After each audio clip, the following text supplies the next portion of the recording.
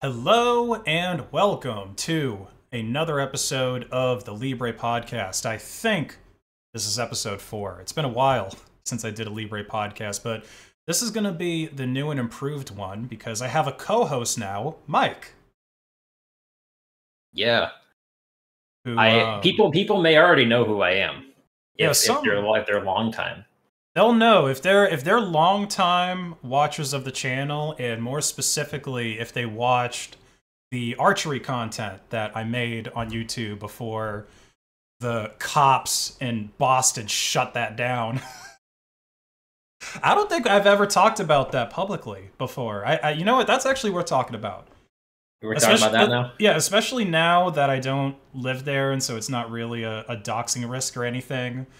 Um, Malden PD constantly coming out to. Um, well, see, it's not even their fault, right? Because where I was living up north is, I guess, a relatively nice neighborhood. Like, it's not the nicest neighborhood. It's not the highest, like, uh, you know, end highest income bracket or whatever but it's a pretty nice place. So the police don't have that much to do out there, and so when someone calls them, especially if they're because because I I never got a recording of the nine one one calls, but you know, black man with a bow, you got to show up to that. Yeah, You can't. I, I don't know if it was a nine one one call because if it was nine one one, non-emergency, like you would have, non-emergency. yeah, Yeah, you would have had the fire department and ambulance there too. Right, right. So not so non-emergency calls. I'm concerned because there's a there's a bearded brown man. There's ISIS with a bow. And- Hamas is here with the bow. Right, yeah, Hamas. That's right. We got to be contemporary. Hamas is here with a bow, and I feel threatened um, because he's shooting a target in like in a field. I mean, it's a cemetery, but it's not like it's not like someone's grandma is there. The youngest person in that cemetery probably died in the early 1800s. It's Yeah, like- it was a it's like a Revolutionary War cemetery, so no one's been buried there in like 250 years. Yeah, no one's been buried there. Nobody really goes in there. I mean, I guess maybe some teenagers will go in there at night to like drink or smoke weed or whatever, but in the in the middle of the daytime no one's there. And we also had a backstop cuz even um what was it? The sergeant. That was the whole point. Yeah, when the sergeant came out, I don't think you were there when the sergeant came out. That was the last time I was allowed to shoot in there. But he came out and he's like, Yeah, you have like a six or seven foot backstop, like a little dirt hill behind it. So there was no danger. But yeah, we would get the police called on us so many times. Mike had to come out. Mike Mike had to be, you know, The a white man. designated white man for safety reasons. It's not even like they would they would tell us to go away. Like they would just come out and like just watch us shoot for like a minute and a half. Well, those were the cool. Those were the cool ones. Yeah, Yeah. because there were some cops that like they really don't give. They don't really care. But the last time that I was able to do it, there was a guy that came in and he actually talked to me over the intercom, his like little you know inside his car, and he was like, "Stop doing that." so I put my bow down and I asked him like, "I can't do this," and he's like, "No," and I said, "Why not?" and I think I'm, I probably name dropped like two or three other cops because at this point I had the names and the business cards of almost every cop that was at Malden PD, and so I'm I'm asking them, you know, are you sure I can't do this because I'm not I'm not hurting anybody. It's it's not um it's not like this is really dangerous or anything like that. I have the backstop, et cetera, et cetera. So he's like, let me call the sergeant, right? So Sarge comes out and agrees with me about that. But here's what I didn't know. So behind the scenes, the chief of police for Malden, city of Malden, was changing.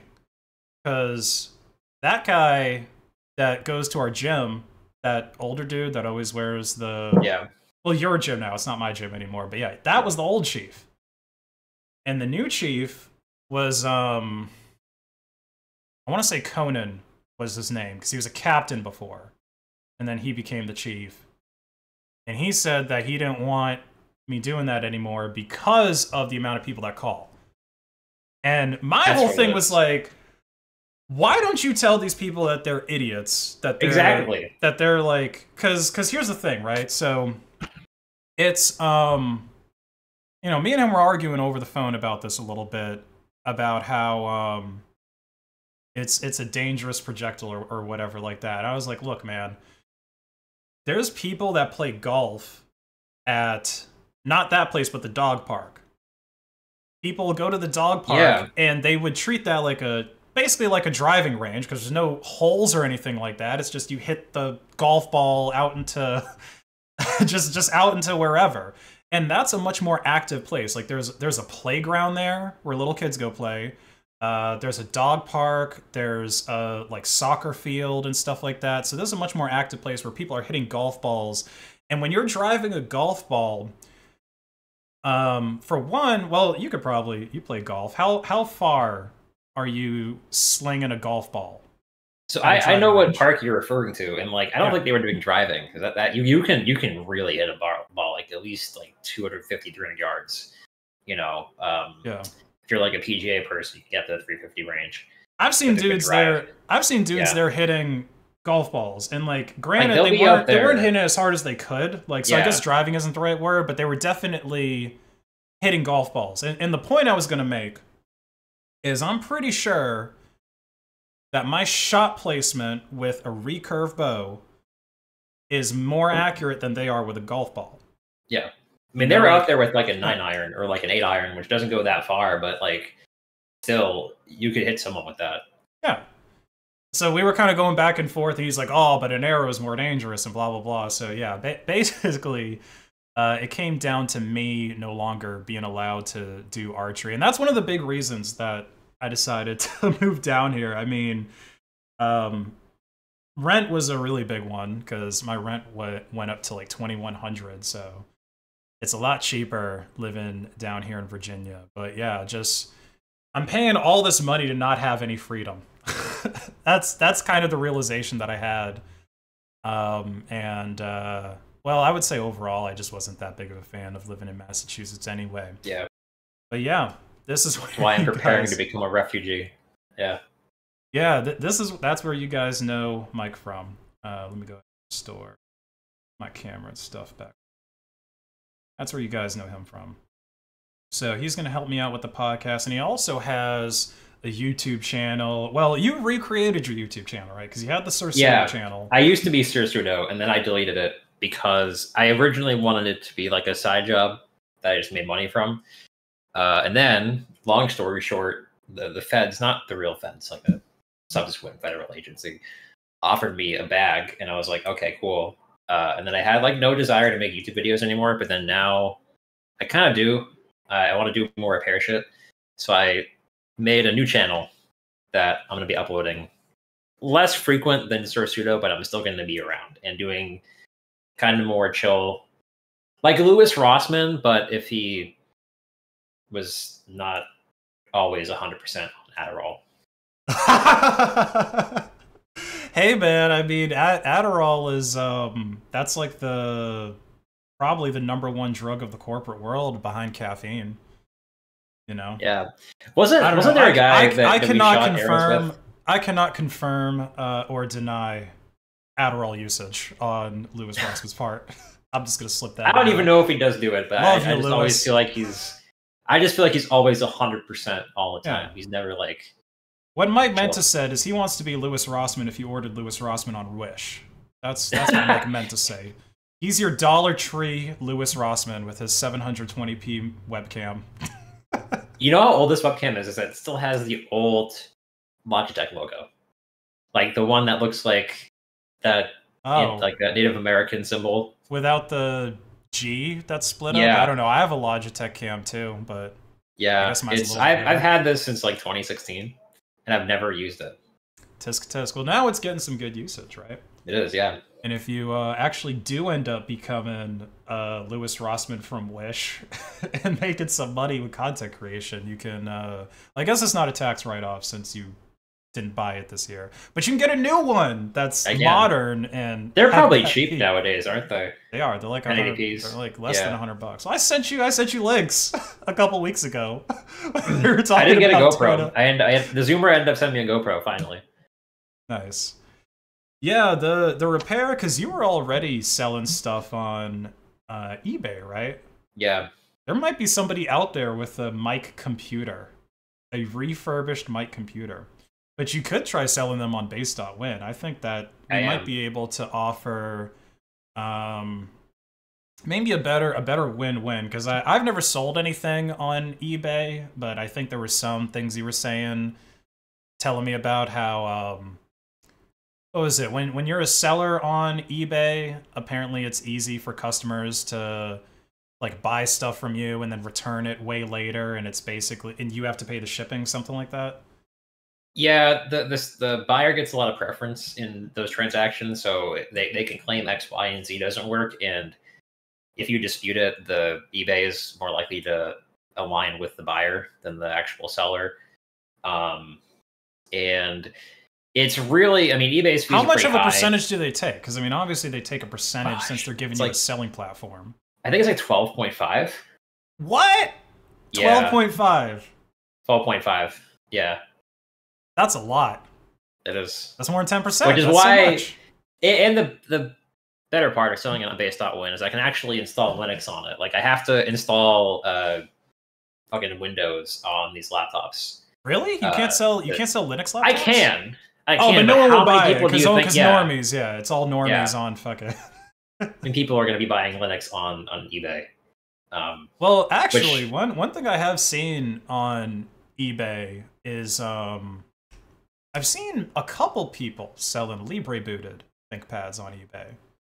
yeah, I actually just got a huge crate of uh, of ThinkPads. There's uh, I have a family friend who's been in I don't know if it's government, some sort of government agency, not a government, like not a real government agency, but like a government adjacent agency like myself for fucking four years. So, so your CIA uncle dropped off a crate full of ThinkPads. She had, she had like a she had like a like a banker's aunt, box full of okay. ThinkPads. Yeah, like like a banker's box full of full of ThinkPads. So, if you want to buy of them- some, totally One of them was not. a power PC.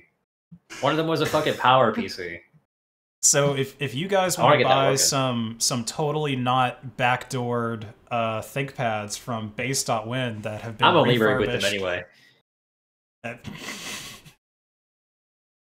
some totally not backdoored Libre booted ThinkPads from Base. I should I should before before your audience thinks that I'm a Fed. I should say that I'm not directly working for the Feds. I work for one of those government adjacent. No, but your aunt uh, is. But your aunt is. We we met up in Langley for coffee. So your aunt is definitely CIA, and uh, has totally backdoored those ThinkPads. But um, anyway, uh, his. So I, I don't forget if I mentioned it already, but his um, YouTube channel is called the Employed Linux User. Yes. Okay. Awesome. So let's start getting into what we have news wise today, content wise. Uh, as you guys know, Hamas attacked Israel. Uh, how many weeks ago was that now? Two or three weeks ago? Seems like it's been maybe Yeah, two weeks ago. Two weeks ago. Two weeks okay. ago on the weekend. Yeah. Yeah, so they they did this attack on the weekend, and there there were a number of things about it that um, I guess Israel just wasn't ready for because Israel's got this Iron Dome defense system, which is primarily calibrated for rockets and things like that, not a dude on a paramotor. So Yeah, they didn't account for the Fortnite strategy. yeah, they had to counter the Fortnite strategy where just a guy on a. I, I saw the video of it on uh, maybe CNN or something like that. It's like a, a guy decked out with um, some military gear, and apparently those paramotors they can carry like 500 pounds on them. So yeah, that's the same kind of shit they use in the uh in like the bayous and the swamps of Florida down south. Like those uh what do they call them, pond skippers? Or like Well, this was. I'm pretty sure this was like a. big I'm pretty sure this was a paramotor. So a paramotor, to my understanding, it's basically a lawn chair with a giant fan. Yeah, isn't that the the, same fan they use on those like pond skippers? Like it's like basically like a floating piece of wood, and they have like a giant Yeah, fan yeah, yeah, yeah. Okay, I see what you're saying. Yeah, so it's it's like that, but you know, in the air instead of aquatic, and it has like a like a parachute. That's how you fly. Yeah, Is this fan like catches air into your parachute, and it's it's it's probably the cheapest um what's what's the word like cheapest aviation vehicle like like if you're like I want to be a guy who flies and you're like hang gliders aren't good enough you know squirrel suits aren't good enough because that only works if you I I think it's the cheapest and simplest um, aviation vehicle that launches from the ground. That's probably an accurate statement. Apparently, it unironically is probably the stealthiest too because it doesn't actually because you're flying at such I don't think altitude. it's the stealth. No, no, no, no, no. at least no. at least from at least from a at least from like a, a a macro point of view because you're flying at a pretty low altitude so you're not going to come up on a radar Well, i mean you're going to be easily seen from the ground but if they're not expecting you then you at least have some lead time because they won't see you on a radar It's but if the they do see you you're going to get blown out of the sky pretty easily it's it's the perfect example of you need to have the right tool for the job, right? so historically, what Hamas does is they get um they get rockets, right? They get they get missiles and, and some stuff like that that I don't know, they probably buy it from Russia or China or wherever. They get it on the dark web with Bitcoin. And um, they shoot these rockets into Israel, but Israel, like I said, has the Iron Dome, which really is American technology, so you know it's top notch, and it shoots those rockets down very efficiently. And apparently, it's like a, um, if you're like I guess a teenager, like you're in your 20s in Israel, a, a romantic thing to do is to take your date out onto a ledge and watch the Iron Dome because it's like fireworks or whatever. You know, it's one of those things where. Um, when the Iron Dome, people in Israel are so confident in the Iron Dome that when it's shooting down these rockets, they're apparently just pretty chill. They're, it's it's like Californians when an earthquake happens, or people in Boston when there's a blizzard. It's like, oh yeah, it's just another day. But it's not calibrated for a dude on a paramotor. Um, but as far as stealth goes, if they would have had, you know, this is a probably multi billion dollar system. If you just have a few good old boys that have duck hunting equipment, like they have their shotguns with birdshot, oh, they could fuck Hamas up, man. They would be shooting, they'd shoot him down. Literally, Oh, yeah. that dude, if I saw that dude flying over my farm, he would be fucked. oh yeah I that was shoot like him down alabama so easily. like that would have just been a normal day of duck shooting Because paramotors aren't very fast. They go how how fast are they anyway? We should you should Google it real quick. How With your fast loud- paramotors? okay Yeah, how fast is I mute myself Yeah, with your Uh, loud ass keyboard. I bet a paramotor doesn't go faster than 20 miles per hour. According to uh, Cirex, it's between 25 and 30 miles per hour. Okay. And and you know what? I just remembered too. That's They probably can more advanced paragliders can reach up to 50 miles per hour by engaging the trim and speed bar systems.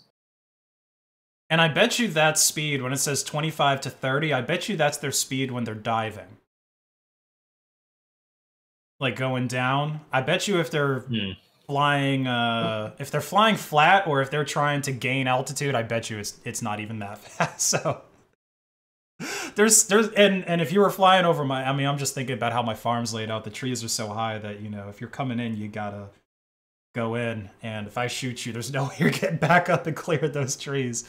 So yeah, they they just did not have the right tools uh, for the job, and so they were able to do a terrorist attack that I was reading was something like t- it it was some order of magnitude larger than 9/11 if you like did it per capita because Israel is a much smaller state. So yeah, they're really pissed. I mean, you got to think if assuming you were alive uh, during 9/11. I mean, I was a kid, but I remember how um I guess sentiment changed after 9/11 towards like the Middle East and uh towards like Arab people, Muslim people, everything like that. And yeah, America wanted blood. You know, we were we literally invaded countries where the guys that did 9/11 weren't even from those countries. Like I'm pretty sure 90% or something like that of the hijackers were Saudi nationals, but we're like, no, we get oil from them. Just just, just hush hush ignore that. I, I think part of the problem. I mean, here, here's my here's my conspiracy theory. Here's my Yeah. conspiracy theory for the day: is Mossad is one of the most advanced intelligence agencies in the world. Like maybe one or Oh, two, yeah. depending on how well you view the FBI. I well, hang on, not How not, not to not to they just, not see any of this coming?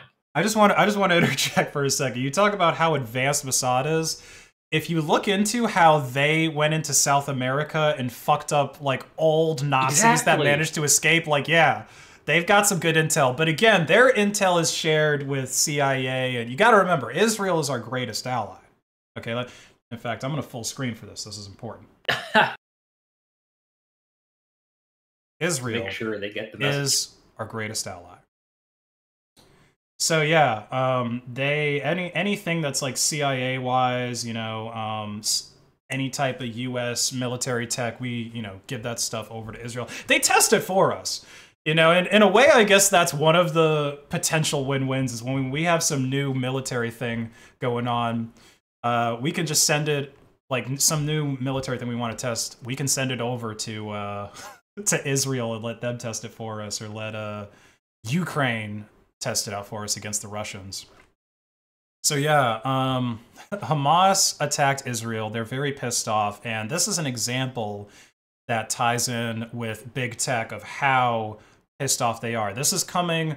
This is actually this is this is Israel getting the EU to bully big tech on their behalf. So this is a letter coming from. Um, the- Thierry Breton, uh, who is a member of the European Commission. And it says Dear Mr. Musk, following the terrorist attacks carried out by Hamas against Israel, we have indications that your platform is being used to disseminate illegal content and disinformation in the EU. You know, this, this illegal content thing is interesting. I wonder what exactly they're sending uh, that's illegal.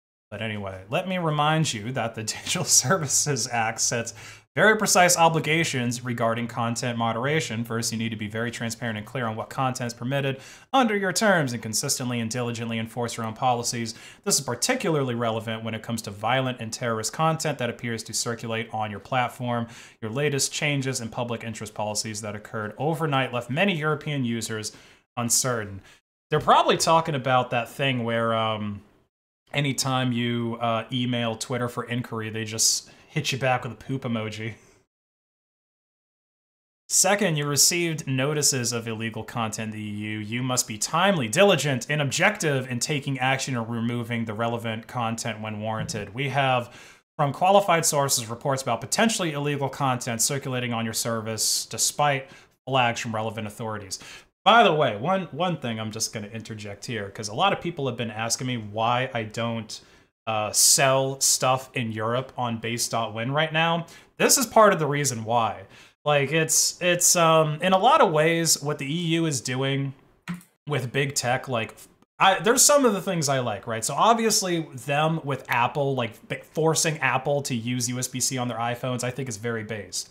But if you want to have an online store or any type of online service that caters to EU customers, there's a few more, well, quite a few more checks and balances required than doing it in the US. And it's not necessarily that I can't comply with those checks and balances, it's just way more work that, um, and I've got a lot of stuff on my plate right now. But uh, anyway, yeah, this is, uh, and, and a similar thing was also sent to TikTok. So it's just, it's interesting how about one week after these events occur, we already have, you know, obviously Hamas is trying to spread their um, propaganda or whatever on uh, online, and I'm sure some of it is true. Because here's here's one of the things that I've noticed with, um, well, it's not even necessarily a terrorist tactic. I guess it's more of a maybe guerrilla warfare tactic, but you know, Hamas has there, there's innocent people that are living amongst Hamas, and it's not even necessarily the innocent people's choices. Because what these guys will do is they'll attack a place, and then they go hide out in a hospital. Yeah. And so now it's like, okay, do I destroy this whole hospital and all the you know little children inside? And then if you do do that, Hamas will be like, oh, look at what they did to the poor innocent children that had nothing to do with it, and they they circulated on um, Twitter. So I wonder if that's part of what they're talking about with the propaganda or if the if the propaganda is just completely false. It's like 100% fake news that's uh, made up by hamas. But how how quickly they're like shut it down okay? We have to shut down this stuff that's going online. And probably part of it is uh because everyone's getting their news sources from online now, right? Yeah. Like if, if you can make something go viral on on Twitter, it's so much more effective than getting something to go on uh, CNN or getting something on Fox News. That's what knock bombs are for. The only country in the world uses knock bombs. Yeah, It's a quote one of my favorite YouTubers is uh, first bomb means get out, right. second bomb means get out now, third bomb means your fault. Oh, I didn't know there were three bombs. I thought I thought you just got two. you just No, got I think the there's one. I think there's two to three depending on it. right. And you're talking about when Hamas is is bombing, Yeah. yeah, different places with probably U.S. drones. I don't know. The I kind of agree with you on the EU. I think they do do some good stuff, but some things they take way too far. Uh, they're they're like a trying to be the cyber police. Well, it's like this chat control thing, right? So the EU is they're looking to approve essentially the end of private messaging and secure encryption because their whole thing, and this is something the US does a lot too, where there's these encrypted messaging apps, um, Telegram, Signal, there, there's all these different things, and people do use them to commit crime right? There's um obviously there's like phishing and stuff like that although honestly i don't i don't think phishing and scams um, are necessarily as big a deal but uh, one is uh, csam distribution. That's something that i always hear predator catchers talking about on telegram. And um, it's the nature of, of these technologies is such that unless you make mistakes in other places, then it's really hard to catch somebody or it's really hard to to prove it, right? Like if the police arrest somebody and they don't unlock their phone or they don't unlock their signal chat, it becomes really difficult to prove anything that you that you have against um, people. And actually, this is this is exactly what it says in the um, second paragraph of this. So, to find a majority for this unprecedented mass surveillance, the EU Council presidency proposed Tuesday that the scanners, so they, they, with these scanners, they're talking about scanning things, you know, in your app, and they only really work if they're able to scan things unencrypted. Uh, it would search all private messages and photos for suspicious content and report it to the EU. Um, and well, they were saying in order to get the support, they were saying that, oh yeah, we're just going to scan for CSAM. That's it. Now, I did a video talking about how scanning for CSAM is a very slippery slope. And here, here's the problem.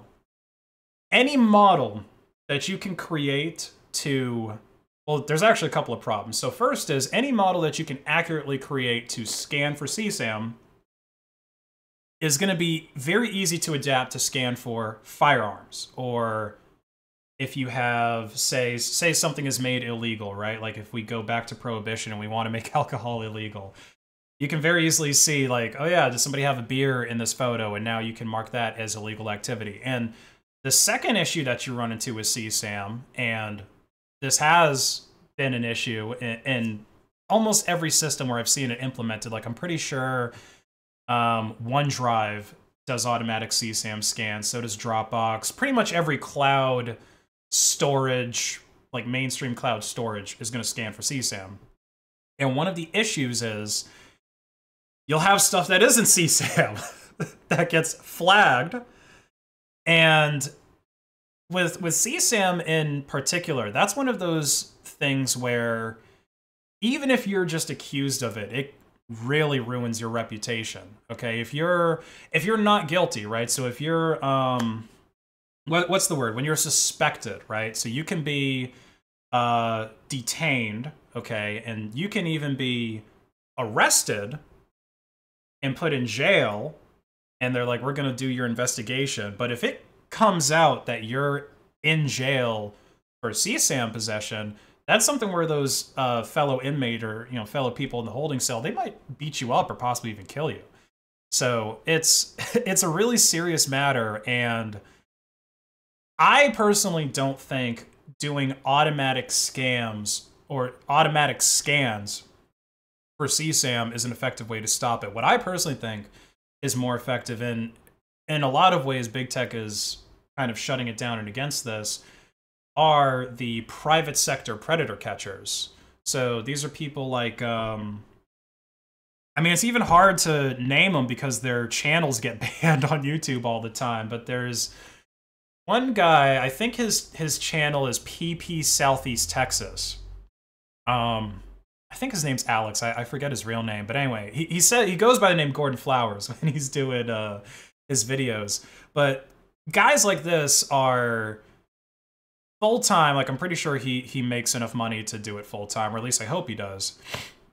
They've got decoys that are in Discord. They're on Instagram. They're on Snapchat. They're on all these different platforms pretending to be a little kid.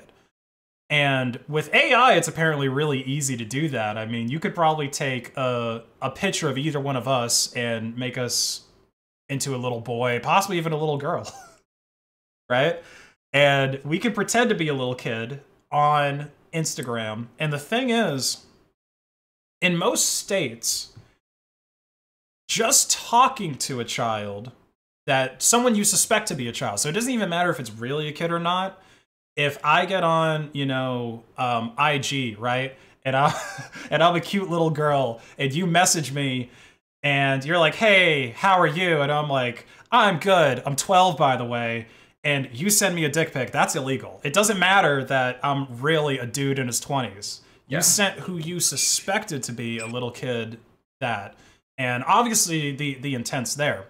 So these guys, they will gather all this evidence on someone and they will get this person to actually try to meet up with a child who they suspect is a child. And then they do this kind of um, Chris Hansen style uh, talk. Although I really feel like that guy, Alex, is. Um, he's like a master of social engineering because I've I've seen him do these catches where he he kind of pretends to be their friend.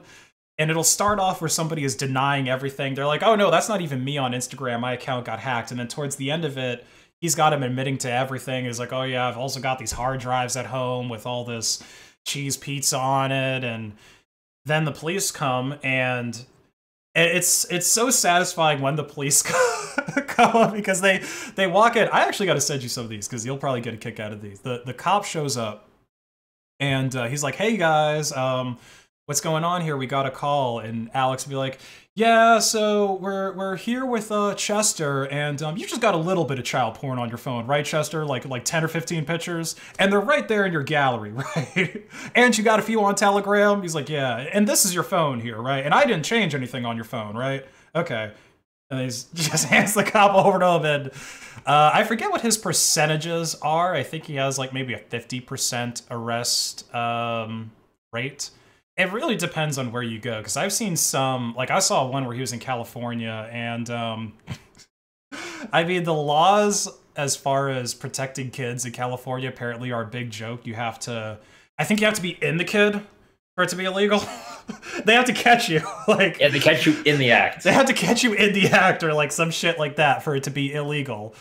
Um, and talking and all that crap is just like whatever. San Francisco PD just doesn't want to deal with it. But um, I I personally think that is a way more effective method at stopping the distribution of CP and definitely stopping the distribution of people meeting up with kids. Is these these people who are in the private sector because I don't think cops really set up these stings that much anymore, or if they do, they only do it with big name people like Chris Hansen. Yeah. Um, and you know, I mean, Chris, he's still doing his thing. He's got like a new To Catch a Predator thing, but he, you know, he can only do so many episodes, right? It's when you have this decentralized content creation thing where people can make to catch a predator content and actually make money off of doing it and you know do it in an honest way um, i think it's a really good thing but youtube keeps banning these people you know alex has been banned a number of times um, someone else I used to watch called Colorado Ped Patrol, I think, got banned, but apparently he did a tax scam. He was uh, saying He tried to be a little bit too based. Fortunately. yeah, he. I think he was saying his um whole predator catching operation was a non-profit, and it very much was a for-profit. And uh, he got in a little bit of trouble there. But what are your what are your thoughts? I mean, you're kind of on the same page as me. Yeah, speaking of um, the hashing algorithms that are used, like in cloud storages, I remember talking about this last year. Um, is Apple rolled it out um, in August of uh, of 2021, and uh, the problem with with an algorithm like this is that you can have hash collisions between you know a picture that's actually CSAM, like a picture of someone's dog. I don't Right. think Apple necessarily did theirs with with hashes exactly, but it, it It is wa- still yeah. relevant though. If you're doing it that way, then yeah, it wasn't like one of the yeah it, it was their own algorithm but it was still a, a hash and within like two weeks someone found a hash collision that it was already possible Jeez. so it's that that that's a possibility too is that is that the algorithm can flag something that actually isn't csam because of a hash collision um, Yeah. and that can lead to to some consequences that should not happen And the the AI stuff, even if you get you know AI, because AI is is so popular now to analyze these images and try to figure out whether it's CSAM or not. Because hashes is only going to work for known CSAM, like stuff that's been floating around Yeah, for that's years or too. whatever. is But that the feds the- have to have a database somewhere of Well, that shit. well that that's a thing. I mean, I'm pretty sure it's even open source. Um, the hashes because that way, because if you're running like an image board or something like that, you've got to have some mechanism to stop people from just spamming CPU. yeah but how'd they get the hashes in the first place from people's hard drives? Yeah, but they have to. You I'm saying they probably, A they probably is- have. a hash is they an probably innocent have a, piece of a database of photos somewhere. Well, of course they they, do. the hash from. Yeah. Well, of course they do. The FBI ran Playpen for like two weeks, and during the time that they ran Playpen, they actually made it way more popular. I think the user base increased by about 500%. Um, and for those of you that don't know, Playpen was a CSAM site that was on the dark web. You know, they took they they had arrested the guy, but they seized instead of seizing the server and just putting up the you know this has been seized by the FBI, they migrated it to their high bandwidth servers in you know their headquarters or wherever. And um, I don't have like hard facts to back this up, but I just know how. I I know to some extent how sites on like marketplaces on the dark web work, and your user base does not magically increase by 500% without advertising somewhere. Um, now, I don't know where they would advertise at since it's a CSAM platform, and I'm pretty sure Dread doesn't allow you to like advertise CSAM. But like on Dread, for example, when a marketplace wants to really start pumping their numbers up, or like a new person comes into town, you pay the admins at Dread, which is dark web Reddit, a bunch of money, a bunch of Monero, and uh, yeah, they'll they'll advertise that for you. So um I don't know where there there is there's one um well I'm not going to name it, but there's there's one uh search engine that was on the dark web that accepted CP ads or CSAM ads because they would put it at the top of your and it was so annoying because you could search for something that had nothing to do with CP, nothing at all, and yet your first result, just like in you know Google when they show you the ad results, first thing would be CP. It's like, wow, Yeah. okay. I don't really want this a link to CP being on my screen, but um, I'm pretty sure that the feds contacted some service on the dark web that's like a CP ad service and probably sent them a bunch of Bitcoin or Monero to advertise that. So not only did they further exploit children by running that site themselves, but they probably enriched some pedophiles as well um, in the process. So, yeah, It's sounds your like- average Tuesday for the FBI. yeah, right, pretty much. Um, oh, and uh, I almost forgot the point I was going to make about AI. So AI scanning for um, let's call it new CSAM, right? Stuff that doesn't have a hash for it existing. How do you get your AI to r- look at something and recognize that it's CSAM because I've seen AI look at something like a cat and say that it's a dog. You know what I mean? Because because you got to think about it, right? With CSAM, you have to know that it's a kid, right? That it's or at, at the very least that it's someone under 18 because that's the the rules for the US. And with some people that might be borderline you know where, where you can't really tell if it's someone that's of age or underage and then you've got other stuff like um what do they call it loli they've got that stuff where it's cartoons and so cartoons actually, are... actually, she's two thousand years old, Kenny. She's two thousand years old. Right, she's two thousand years old. Right. So, so you got that stuff, um, where because it's drawn, it's not illegal because there wasn't a you know there was an actual child that was exploited. But what if you're a really good artist? How how does the AI know that you're not a really good artist? So yeah, like just automatically scanning people's photos. I I think you're gonna end up with false positives, which, like I explained earlier, false positive with with CSAM is is it could lead to your death if you end up in a jail cell for Yeah. that. Um, it, there's I don't think it's it's gonna bring more harm than good. That's pretty much my summary on that. There's got to be some sort of manual review process, right? If like if you get flagged for CSAM and it's obviously a picture of like your daughter.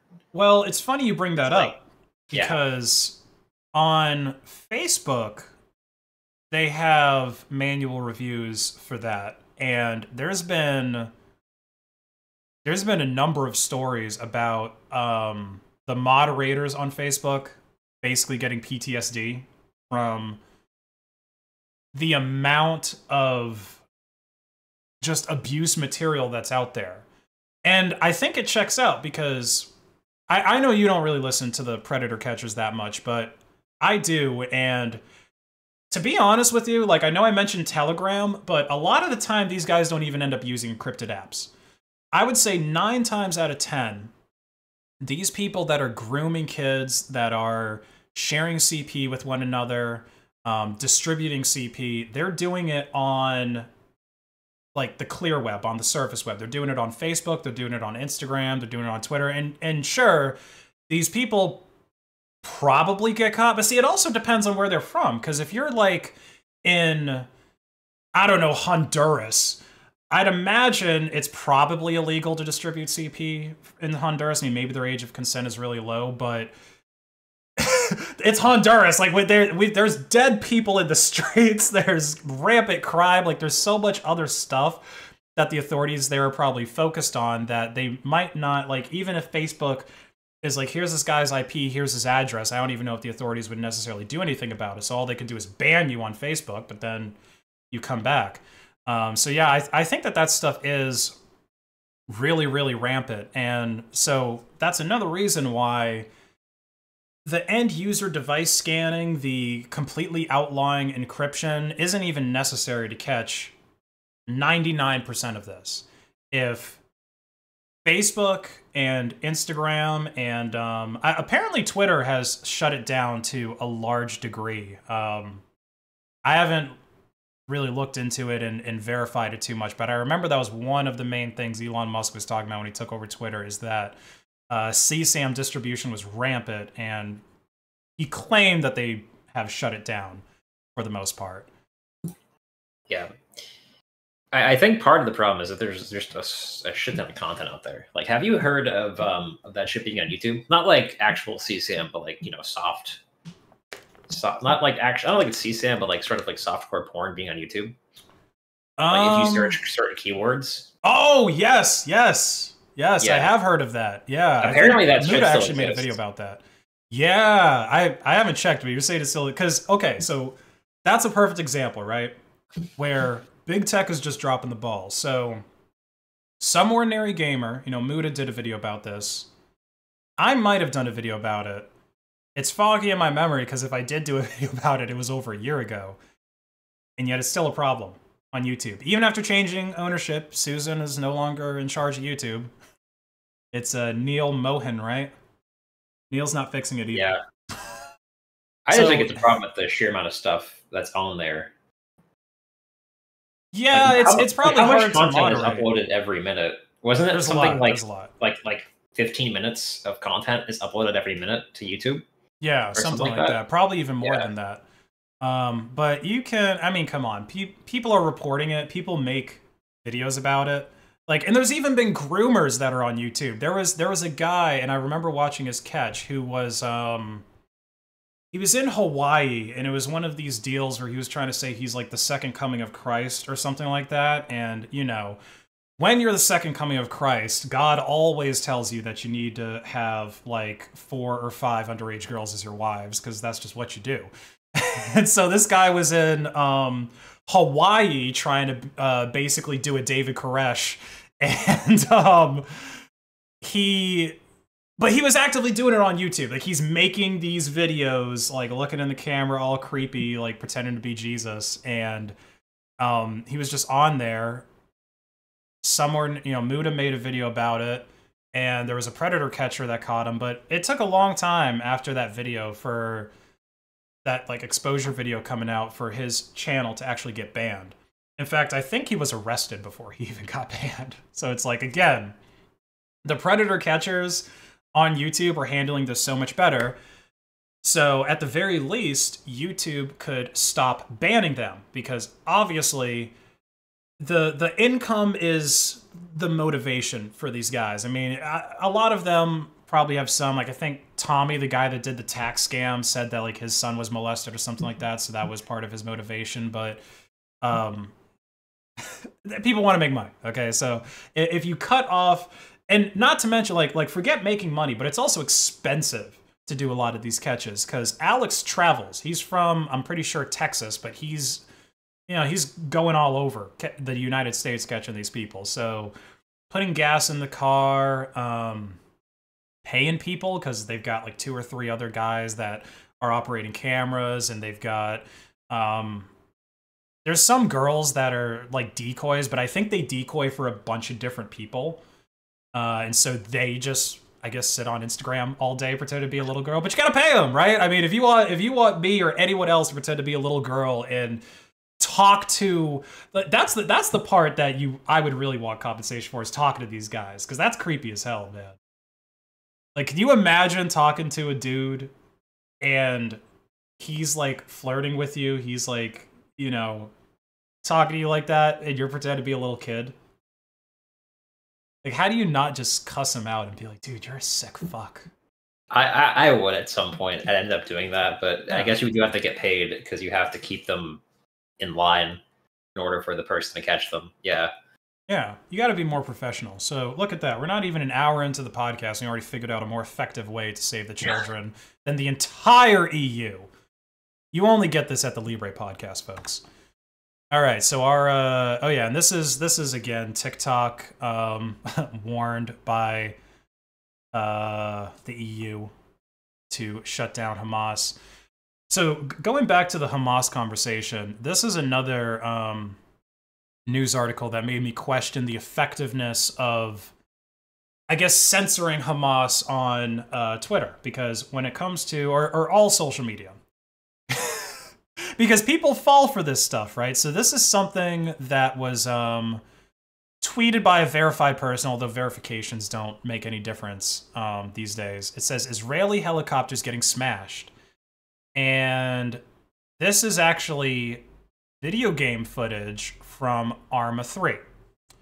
Um, here, we actually have the video. Let's see. Music in this.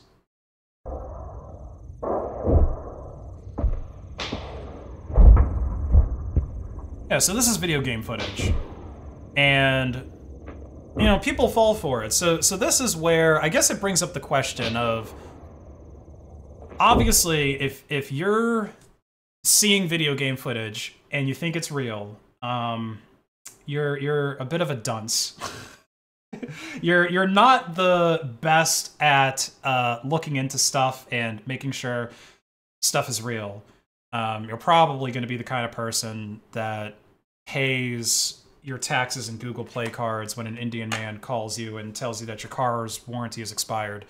Do not redeem, madam. So, so this this is a this is one of those I guess moral questions is, you know, we have the internet and we're at the point now where social media like Twitter gets more views than probably every news station combined. In fact, the news is Twitter. Like if you watch CNN or Fox or whatever, they're literally talking about tweets that people posted on Twitter half the time.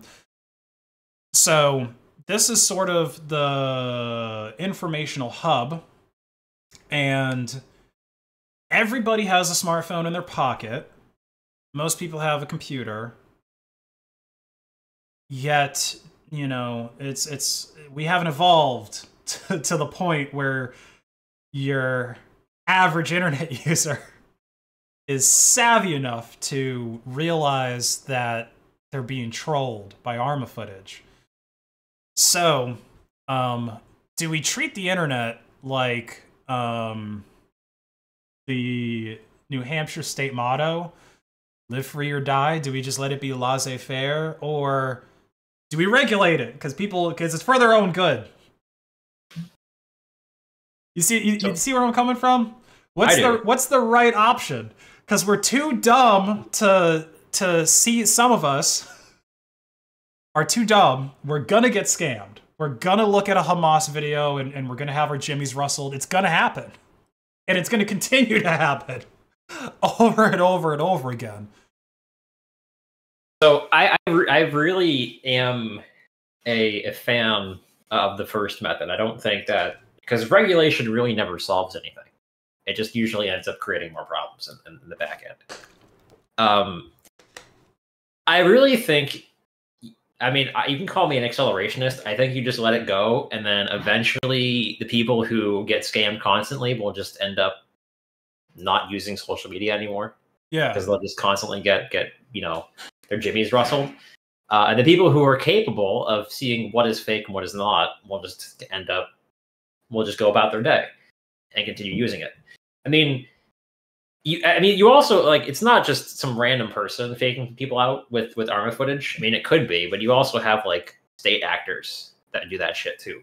Well you've got there's probably dude. people in hamas who are doing that just to rustle jimmies of people on twitter or something. Well i think or hell guy... even the idf could be doing that just to like you know get some sympathy or something. Well but but hang on. No no no no no. It's not propaganda when israel does it. They're our greatest ally it's not. It's not propaganda. They're they're our greatest ally. it's not propaganda.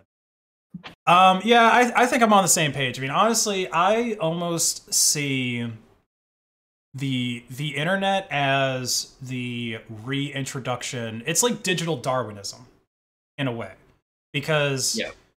And this is actually something I was thinking of earlier today when I was out on my farm. You know, that's when I have my philosophic moments of how when you think of ancient times, well, well, we have this um, moral principle of respecting your elders, right? Like it's, um, I think it's one of the Ten Commandments, right? Or oh, no, it's honor your mother and your father, not necessarily respect your elders. But this is like a, it's like a moral principle. It's a religious principle, right? Respect your elders when somebody's older than you.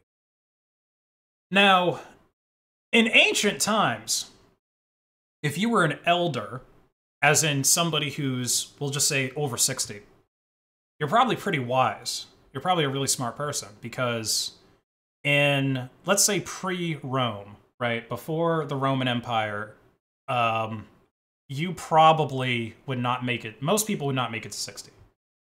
Something's going to kill you off. Like, even if you get a disease like diarrhea, right? Think about how many people and this is after the Roman Empire. Think about how many people in the 1700s died from diarrhea or like dysentery. Isn't dysentery basically just severe diarrhea, right? Like you're vomiting or something like that. Yeah, you die due to loss of uh, fluids. Right, loss of fluids. Nobody dies from that in the first world because we all have running water. You know what I mean? Like water, water is so available and abundant if you're in like a first world or you're in a developed place. So something like dysentery isn't going to kill you. Uh, food poisoning doesn't really kill people, right? Back in the day, it did. Oh, dude, if you ate some bad chicken in like the Roman Empire, that's like getting cancer, bro. Yeah, they they believed a lot in like miasma though. It was more of like they believed in like the bad air or like bad. Yeah, they didn't know. They had no. I mean, but Yeah. even I shouldn't even bring up the Roman Empire because as recently as like the Civil War, doctors thought that doctors didn't wash their hands between surgeries because their logic was blood of the living is a good thing. And so if I smear a bunch of other dudes' blood on you, then the chances of you living increase. Actually, you just gave me all that dude's STDs. Thanks a lot. Not to mention STDs could kill you. Like, uh, what was it? Al Capone died from syphilis because if you don't treat syphilis, which by the way, it's a penicillin shot. Okay, like you can. I'm pretty sure you can get penicillin at the pharmacy. Um, if you don't treat syphilis, it'll you'll go crazy. you know, your brain will just turn to mush, and you'll be like, what was he fishing in his swimming pool? You know, crazy stuff like that. So, the point is, in the modern world, getting to age 60 does not necessarily mean that you're a very smart person. It doesn't mean you're with it. It doesn't mean you're a wise person. So that's to me, respecting your elders was always more about uh, wisdom. And I, I think this is something that's happening a lot. Is we have like it's it's probably a lot of old people that are falling for these scams, but they're old people who have been old in a world that's on easy mode relative to Roman Empire or even as recently as the 1800s. So a lot of these old people that we have wouldn't have made it in the 1800s because they would have eaten the raw chicken. They would have, um, or okay, we're talking about scams here, right? There were scams back in the day, but if you fell for them, you know, a lot of the time it was a lot more severe, right? Like if you fall for um, a fake medicine man, all right, think about how that works. I roll into your town on a horse and buggy, and um, I've got snake oil, right? That's where the term came from, snake oil salesman. Now, who knows what snake oil is? Okay, like I saw a snake in my garden, uh, or not my garden, but where I keep my chickens, uh, a couple of months ago, and he wasn't very oily at all. they they don't have so I don't know what snake oil is. You know, maybe it's this puddle water. I just poured into my vial real quick and uh, what's that, ma'am? You're pregnant and you want your baby to come out with blue eyes? Take my snake oil, and you know, of course, it's probably gonna kill you or make you have a miscarriage or whatever. But we're in horse and buggy days. I'm two towns over at this I think point. more often than not, it was just heroin. Yeah, exactly. It's it's Yeah, it heroin was like mixed heroin with. or some other opioid. Take this snake Mixed with, like oil. sugar or something. take this snake oil, which is um, a little bit of uh, opium, a little bit of 1800s version of lean. It's a little bit of opium and formaldehyde mixed with puddle water. The 1800 version of lean. yeah, so it's like, okay, if you get scammed in the 1800s, you're probably going to die. But if you get scammed, and even the consequences a lot of the time are not that bad. So to me, it, it really seems like, I mean, I guess it isn't really Darwinism, because if you get scammed, it doesn't stop you from breeding. But Hmm. man, the, the internet has grown so fast, and people's ability to use it just has not kept up. And you know what a lot of it probably was too? In in fact, I know that this is what a lot of it was. You know that there were people in the 80s and even the 90s, probably uh, like almost j- like jock guys, right? Those those you know jarhead type dudes who are like, oh, look at these pencil neck nerds and their Microsoft DOS sending each other, you know, text in a terminal over ARPANET. These losers. And now these guys run the internet, you know, in some way, shape, or form, right? Somebody probably said that about Bill Gates Yeah. when he was skipping class to play poker with people. And now these guys, they didn't keep up with uh, technology, and now they're in their 40s and they're paying for their car's extended warranty with Google Play cards. yeah, I mean, I don't think big tech or really anybody. So here's how, how it should go, right? If you manage to have kids, hopefully your kids are in tune enough with this so that they could be like, no, grandpa, there's not hot singles in your area. Don't click that link. No, grandma, don't don't click the the I don't know. coolcatvideos.biz. It's a trick. don't go there. Don't trust any top .biz domain. or like MLMs or something. I feel like that's what I feel like that's what a lot of women get into is Yeah. MLMs. Yeah. To get into that multi mid or what is it multi level marketing. Actually, like one of, one of my friends, like my age, got almost got into an MLM. Like almost got hired into an MLM.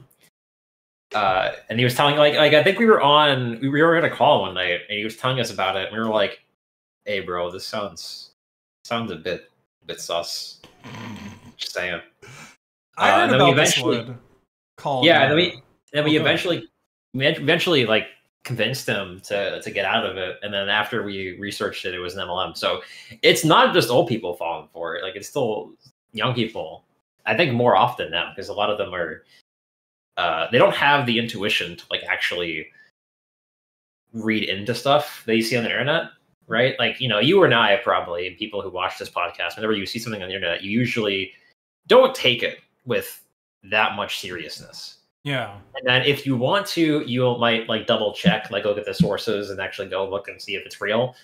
Um, nowadays, like if you go on TikTok and get your news there, which God forbid, but there's really no way to check sources. So most of the time they just believe it because I don't know, pretty blonde woman said that it was true.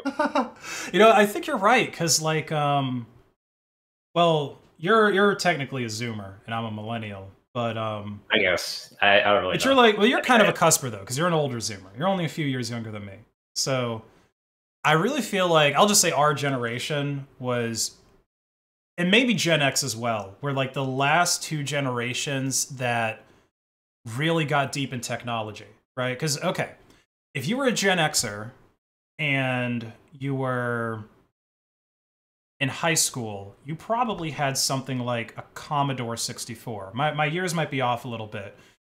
But if you received a Commodore 64 and you learned it, which, like, you can basically program them yourself down to the hardware, you would have had a really good deal of competency with computers. I mean, that's what Terry Davis, um, like with Temple OS, that's what he was trying to design, is like the modern day Commodore 64 and i'm pretty sure that that was like his first computer or one of his first computers and like that's how you become the type of dude who builds his own operating system and his own compiler and his own programming language completely from scratch and actually makes certain improvements on it. Like i believe he improved the performance of like the switch statement in uh, c which is like whole what? You made improvements to c as one guy, mind you, like, and, and he's not a PhD computer scientist or nothing like that. I mean, I'm sure he had a degree, but you know, holy cow, brilliant. Um, but if you're a Zoomer or if you're what's after that? I think Gen Alpha or anything after. What's your first computer? An iPhone?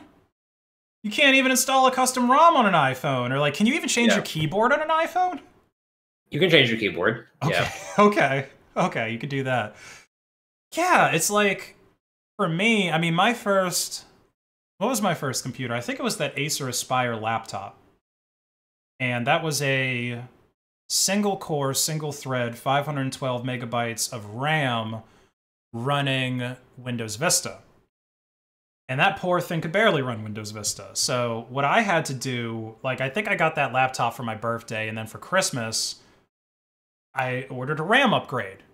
Now, for you as a how old was I? Maybe 10 years old or 11 years old. For you as an 11 year old to figure out what you need to make your computer go faster when playing RuneScape, that's that's a and, and it was out of necessity. I mean, the other reason was also because I grew up like not super poor, but you know, poor enough to where a dual core was out of the picture. My dad had a dual core. It was like a, it was some kind of Dell. It was a chunky boy too, uh, and it was like a thousand dollars for a Core Two Duo. But um, yeah, like I figured out, I figured out that RAM was the best thing to put into my computer to make it go faster. This was pretty much before SSDs, and plus RAM what, you, the didn't- main you didn't issue. download more RAM? I actually, I'm pretty sure that was something I looked into.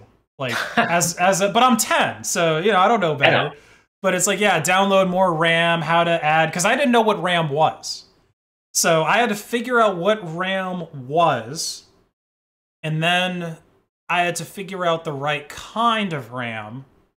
And you know, I, I had to figure all this stuff out as a kid. And again, my motivation was make RuneScape go faster so that I don't get immediately killed when I walk into the wilderness and there's more than like four monsters on screen and you know I drop to like two frames a second. And I mean, hey, that's a heck of a motivator, right? When you're when you're a kid trying to figure out how to make a game go faster. And that same motivation led me to install Windows 7. And as a um let me think, when did I install Windows 7? Maybe when I was like 13.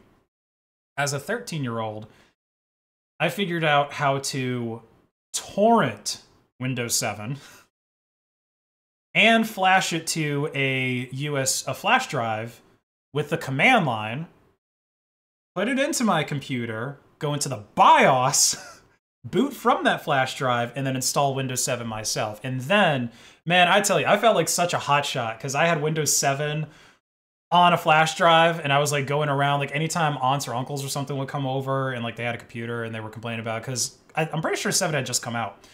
And they're like, oh, this Vista sucks. I'm like, oh, I've got 7. And I'm sure it was probably backdoored Russian malware, but I felt so proud of myself.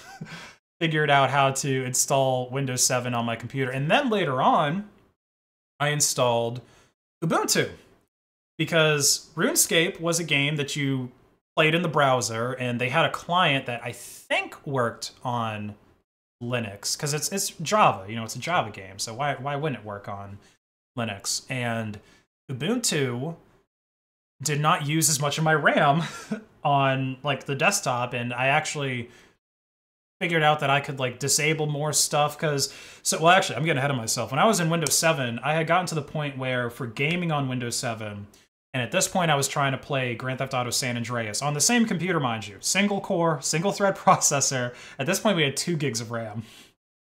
Uh, no dedicated graphics. Played San Andreas.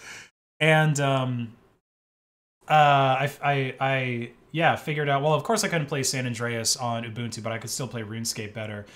But yeah, like I, I had figured out all this stuff on my own just to get better performance in a game. And now, if you're a kid and you get an iPhone and you're playing Candy Crush, I mean, there's there's no there's no necessity.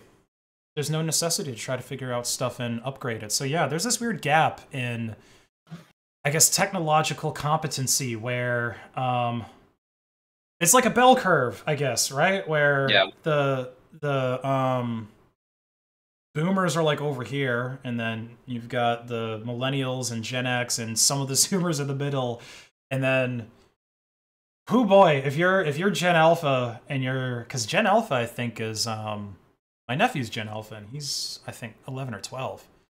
So they're they're starting to become teenagers, and I I really question how competent they are with uh, the more advanced technology stuff. Plus, so much of this is getting outsourced anyway. Like I wouldn't even. I don't even think I would really recommend that my nephew look into IT as a career because he's got to compete with all of India and I don't think enough corporations are getting burned by outsourcing. Although that new um, Cisco vulnerability, which isn't even really Cisco's fault. I mean, they enable the web console by default on their switches, which I, there is an argument to be made against having that in uh, enterprise environment. I mean, you're working in an enterprise environment right now, so Yeah. Are you ever logging into a switch or a router via a web console, or are you just doing everything over your terminal like SSH and stuff? Yeah, I, I do everything over a terminal. Um, I haven't done network admin at work since my Okay. last job. Okay. Um, I'm only working on machines, but yeah, I do most of my work via terminal. See, I did too. And I, whenever we had to like provision these network devices, I would do it over a terminal because I can plug in, like, I think our we had an eight port switch that was at our desk, so I could plug in eight phones or or eight, you know, any whichever device we were provisioning that day, and run a script. And it would automatically like you know upload this uh, ini file and then flash it. And it's so much faster than what some of the other people i mean there were some people that used the script once i told them about it because they were more comfortable on the command line but other people would just go through a web console and they would actually just plug in so they would plug in say a phone or something like that directly to their computer and then flash the ini files on it. And then they would also go in and say if the customer, some customers would want us to customize their DNS settings. So then you go in, you set like 8.8.8 for the DNS server. And then, you know, you got to wait for it to finish and then you unplug it. They would do that manually. And I would just be here, you know, okay, run the script. And then I'm to pretend like I'm working for the next two hours because that's how long it's to take you to flash uh, all those phones or all those app appnetas or whatever manually. Do you do that as well? Do you have any of your colleagues that are just super slow and you just kind of match their pace while you goof off at work a bit? Yeah, I mean, I only work with one other guy, um, so I, I, I have to basically. I'm like an IT person for engineers, so I have to deal with like pretty high levels of autism already. Um, but you got one of your guys uses Emacs, right? Yeah, dude. I that's the one thing I hate about engineers. Is like they're they're they're so fucking specific about what they want. Like I, I shit you not, we have like I think four or five supported different text editors just because like one or two people were like, I've used this text editor for 40 years and I want to keep using it. It's like motherfucker, just use like Vim or Emacs or some shit. Like, like I don't want to have to support Emacs because your ass doesn't want to go learn how to use Vim. Um, so it's, it's yeah, I've I've been there where I have to just automate shit and I just end up acting like I'm going to work. Like I just automated all the patching on my machines and then I don't have to do it manually anymore. I can't uh, I can't wait till a new guy comes in and he demands to use Ed. I what was it? I have a guy who use. I mean, we use like VS Code, Vim, uh, Emacs, right? Yeah. Uh, GVim. I had one guy ask for Slick Edit, which is like this super ancient, not ancient, it's still updated, but like it's been around for a while. Uh, so we had to go out and like actually get that and support it. And it was like, why do all this work when you can just use Vim and uh, customize the key bindings? Um, that's wonderful. Yeah. All right. So getting back to our heckin' uh, tech news, man, we went on so many tangents there. Um, Hamas is apparently really good at making propaganda because they can just clip Arma and say it's them shooting down Israeli helicopters. I hope they clip some COD footage and say they have a nuke. But here's what uh, here's what Hamas is not very good at, guys. They're bad at crypto. They're real, real bad at crypto. So this is actually something I posted to my Instagram, which uh, was a risky post looking back, because they might have thought that I'm promoting terrorism. But um, I posted this. Uh, so apparently there were these posters that were going up uh, around the Gaza, you know, Gaza Strip and um, in other places where, like, I think they were some in Turkey and some other places where you might uh, suspect a lot of terror or Hamas sympathizers to live. And there are basically posters telling people to donate in Monero to a Monero address. And the clip of the posters I had were censoring the Monero address. But you know, it, it to me, uh, what I posted on uh, Instagram was that it was a bullish signal that terrorists have figured out Monero, but they haven't figured out the crypto fundamentals. Not your keys, not your coins. Israel froze a hundred Binance accounts over suspected Hamas links, and authorities have requested information on some two other crypto accounts. So, you know, these guys, I, am not sure if it's Hamas's actual crypto wallets or if it's people that have just been donating to Hamas via Binance, but I mean, this is insane. Why on earth would you go through a custodial wallet to send crypto to what you know what the media is calling a terrorist okay? Like regardless of how you see the you know israel palestine conflict i mean i'm fairly neutral on it. I don't care. I'm american. But um the media right? The rest of the world sees these guys as terrorists. And in almost every country, if you are suspected of funding terrorists, they've got something like the Patriot Act, which means you don't get a trial, you don't get you have no rights. Men in a van come to your house, they put a hood over your head, throw you in the back of that van, and you wake up in you know a place like Guantanamo Bay, one of those places where it's like this is U.S. soil, but it's technically not U.S. soil, so you don't have any all those rules where we can't torture you. That's gone. That's gone now. We can do whatever we want to you in order to get answers about you funding your terrorism.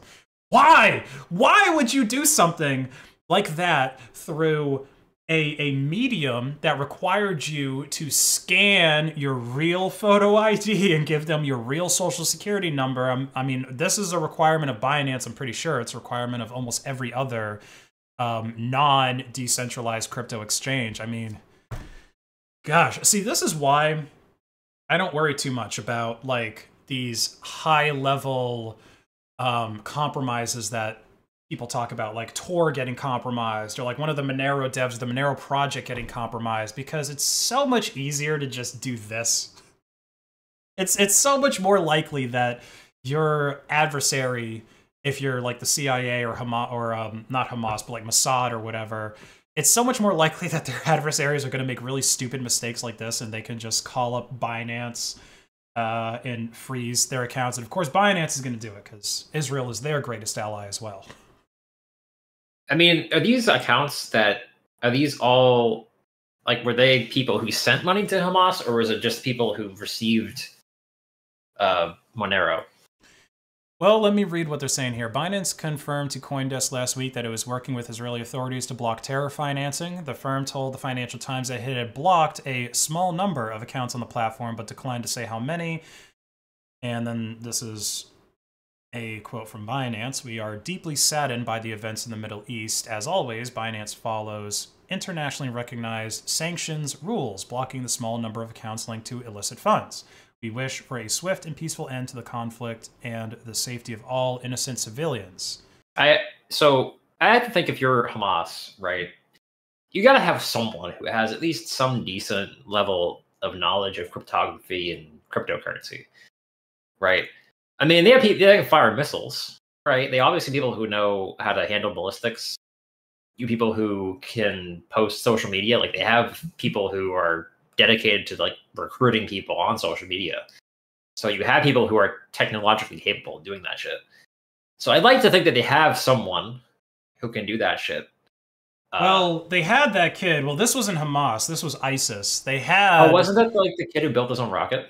No, no, no, no, no. I was I was gonna talk about the kid that was trying to build um what was it? He was trying to make a custom Linux distribution for using Gentoo for ISIS. Oh right, I remember yeah. that story. So yeah. they arrested they arrested their guy. Yeah, their IT guys in jail. that was the one guy that was like went, a. You could have just went to uh, the fucking Gentoo wiki. But they don't know about. That's my point. The terrorists don't know about the Gentoo wiki, and the one terrorist sympathizer that was technologically literate enough to probably help them with Monero and using private wallets got arrested. So, yeah, but it, but then again, that doesn't necessarily mean that he knows a lot about crypto because even like cryptocurrency itself and like how to use cryptocurrency is not necessarily something that you would be. It's it's kind of its own. It's its own thing, and so many people so many people seem to mess it up. I mean, I don't.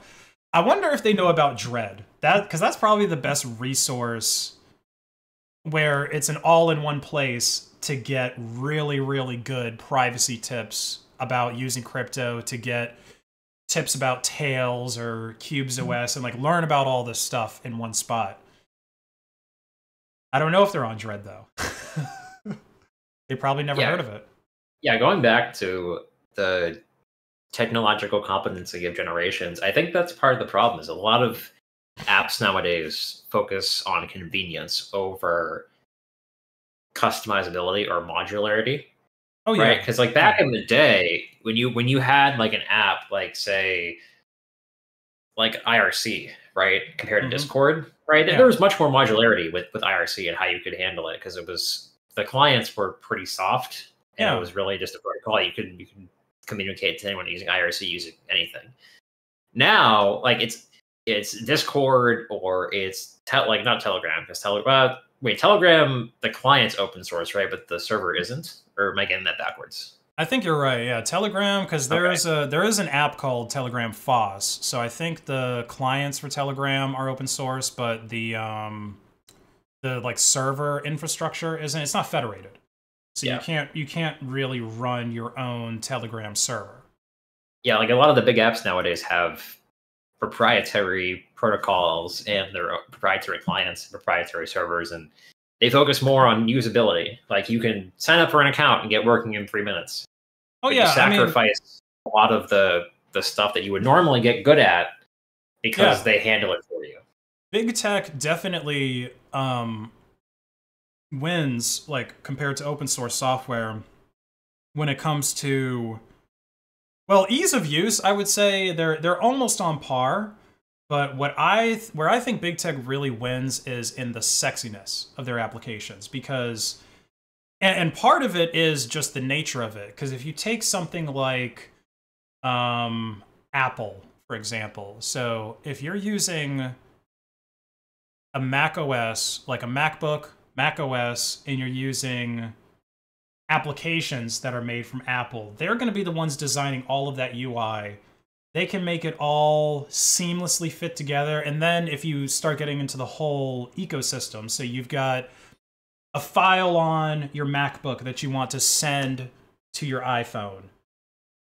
I'm pretty sure you do that with AirDrop, right? Like it's set up in such a convenient way. It's such an easy to use thing and it looks good. Like the UI to it looks nice. So that's where I feel like they really win. I mean, if you compare probably one of the better comparisons would be just compare the hardware of a ThinkPad to a MacBook. The MacBook, for the most part, is a sexier device. I mean, when I worked at Best Buy, I can't tell you how many college girls I sold MacBooks to because they're like, oh, I like this one, it's cute. We never talked about RAM, we never talked about CPU speed, we never talked about anything that actually matters when it comes to the computer, you bought it because it's cute. Same thing with the iPhone. Oh, I like this iPhone, it's cute. and in the open source world, there's not as many uh, cute products that are going there. So, yeah, that's that's why people just go for the um, easy stuff and they uh, choose to be ignorant of their technology. That might be one of the reasons. I mean, as a former you know somebody who's used who used Apple in the past. I, I will say the one thing is Apple has pretty okay security out of the box. Like what I mean by that is security from external threats, not counting Apple's own surveillance of their users, but like as far as you know antivirus protection as far as like encryption by default goes they actually are pretty good like out of the box oh yeah but you can obviously get more private and secure by using open source software but they're not that bad like not as bad as like Windows would be. Oh no, I mean Windows. Yeah. Well, actually, it's it's funny because Windows. I actually do have um, a computer with Windows on it. I, I dual boot it, but um, I was looking around in the settings of it, it came with Windows 11. It's my gigabyte laptop, and it has they've got these things like core isolation and there's there's a lot of settings in Windows that I think would make it much much harder to hack. There was actually one setting that I turned on, um, and it made it it made things too secure, so it was annoying. but um, oh, what's it called? Folder protection. So this is a thing that's supposed to protect you from ransomware. I guess is you can set which applications have write access to which folders and I turned it off because I tried um like I tried doing something like I tried saving an applic something from GIMP and it's like oh no GIMP can't write to this folder, or I tried downloading something it's like oh uh, Brave or Firefox can't write to your downloads folder, but um that's not that's not on by default. But I think the core isolation is, and I think. Uh, it would probably be worth doing a video about a, a proper review of the security differences between Windows 10 and Windows 11 because Windows 10 was the last OS that I used like really full time and I switched to using it.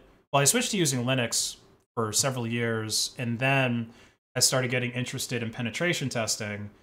And I've actually made malware, I mean, using automated stuff and kind of going in and doing minor programming to improve it.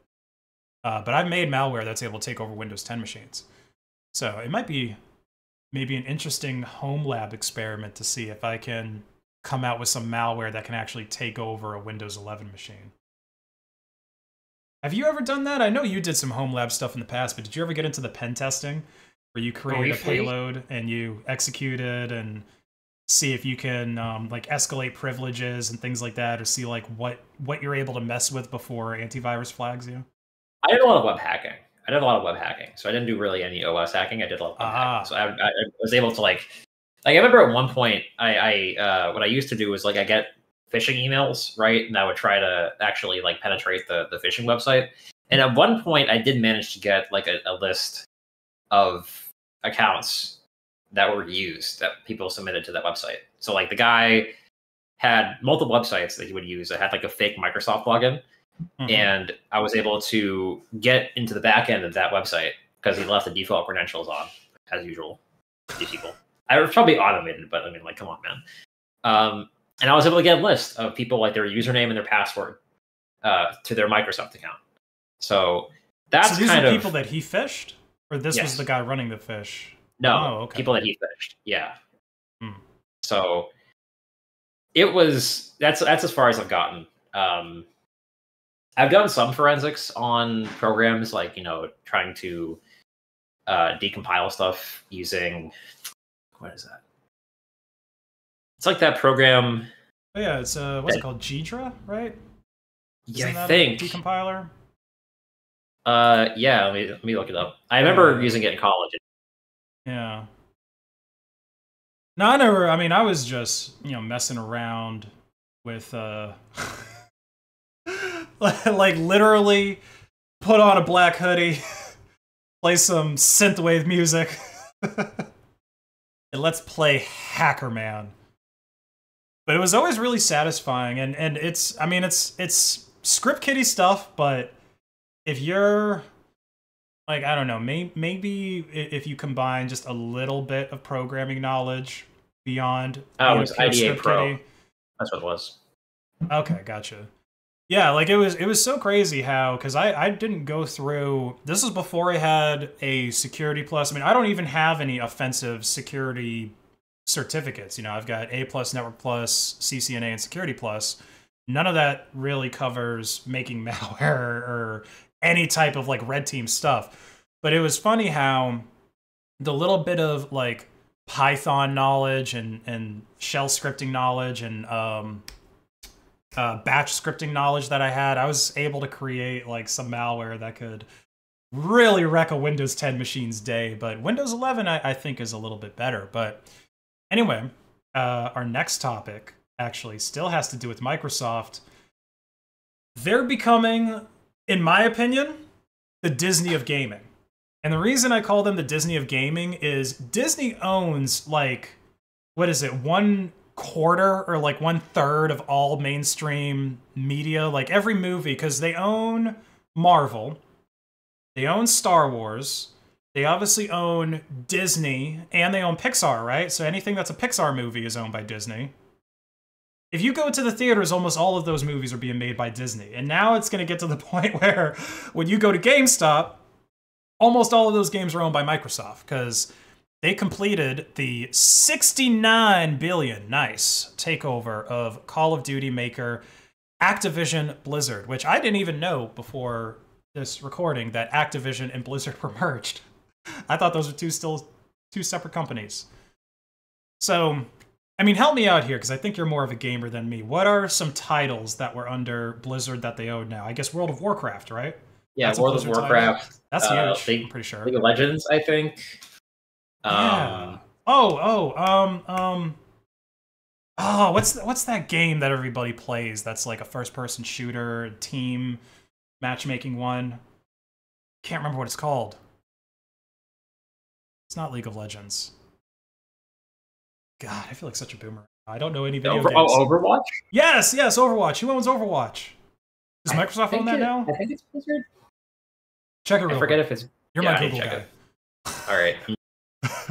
But yeah, I'll, I'll read this article while uh, Mike looks it up. So, uh, Microsoft, and they own the Xbox gaming console, so don't forget that. Yeah, right? it is they Blizzard. Own, It is Blizzard, yeah. So now they own Overwatch. Uh, Overwatch sucks. I'm a TF2 person.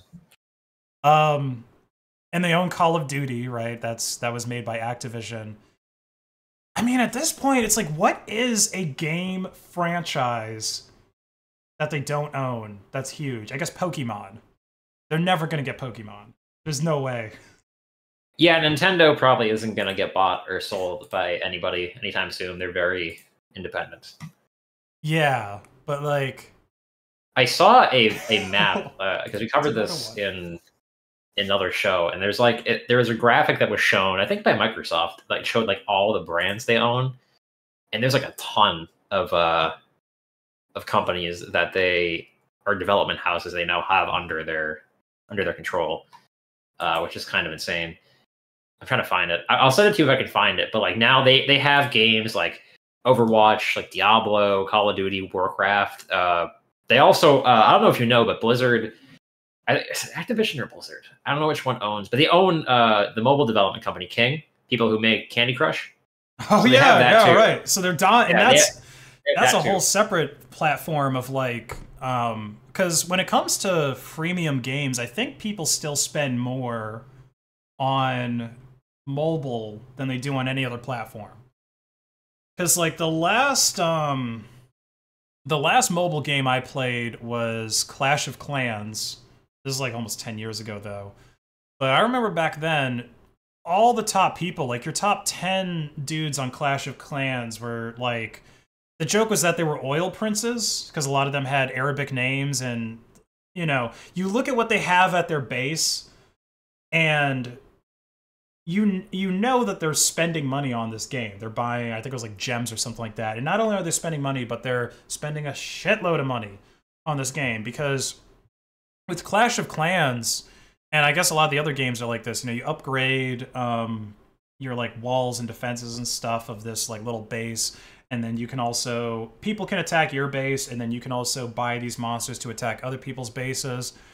And there's like a um, the point of attacking people's bases is you get coins, which you use to buy stuff and upgrade stuff, and you also get this purple stuff. I forget what the purpose of that was. I think it had something to do with monsters, like spawning monsters. But anyway, you get to a point in the game where you're at like level 7 walls.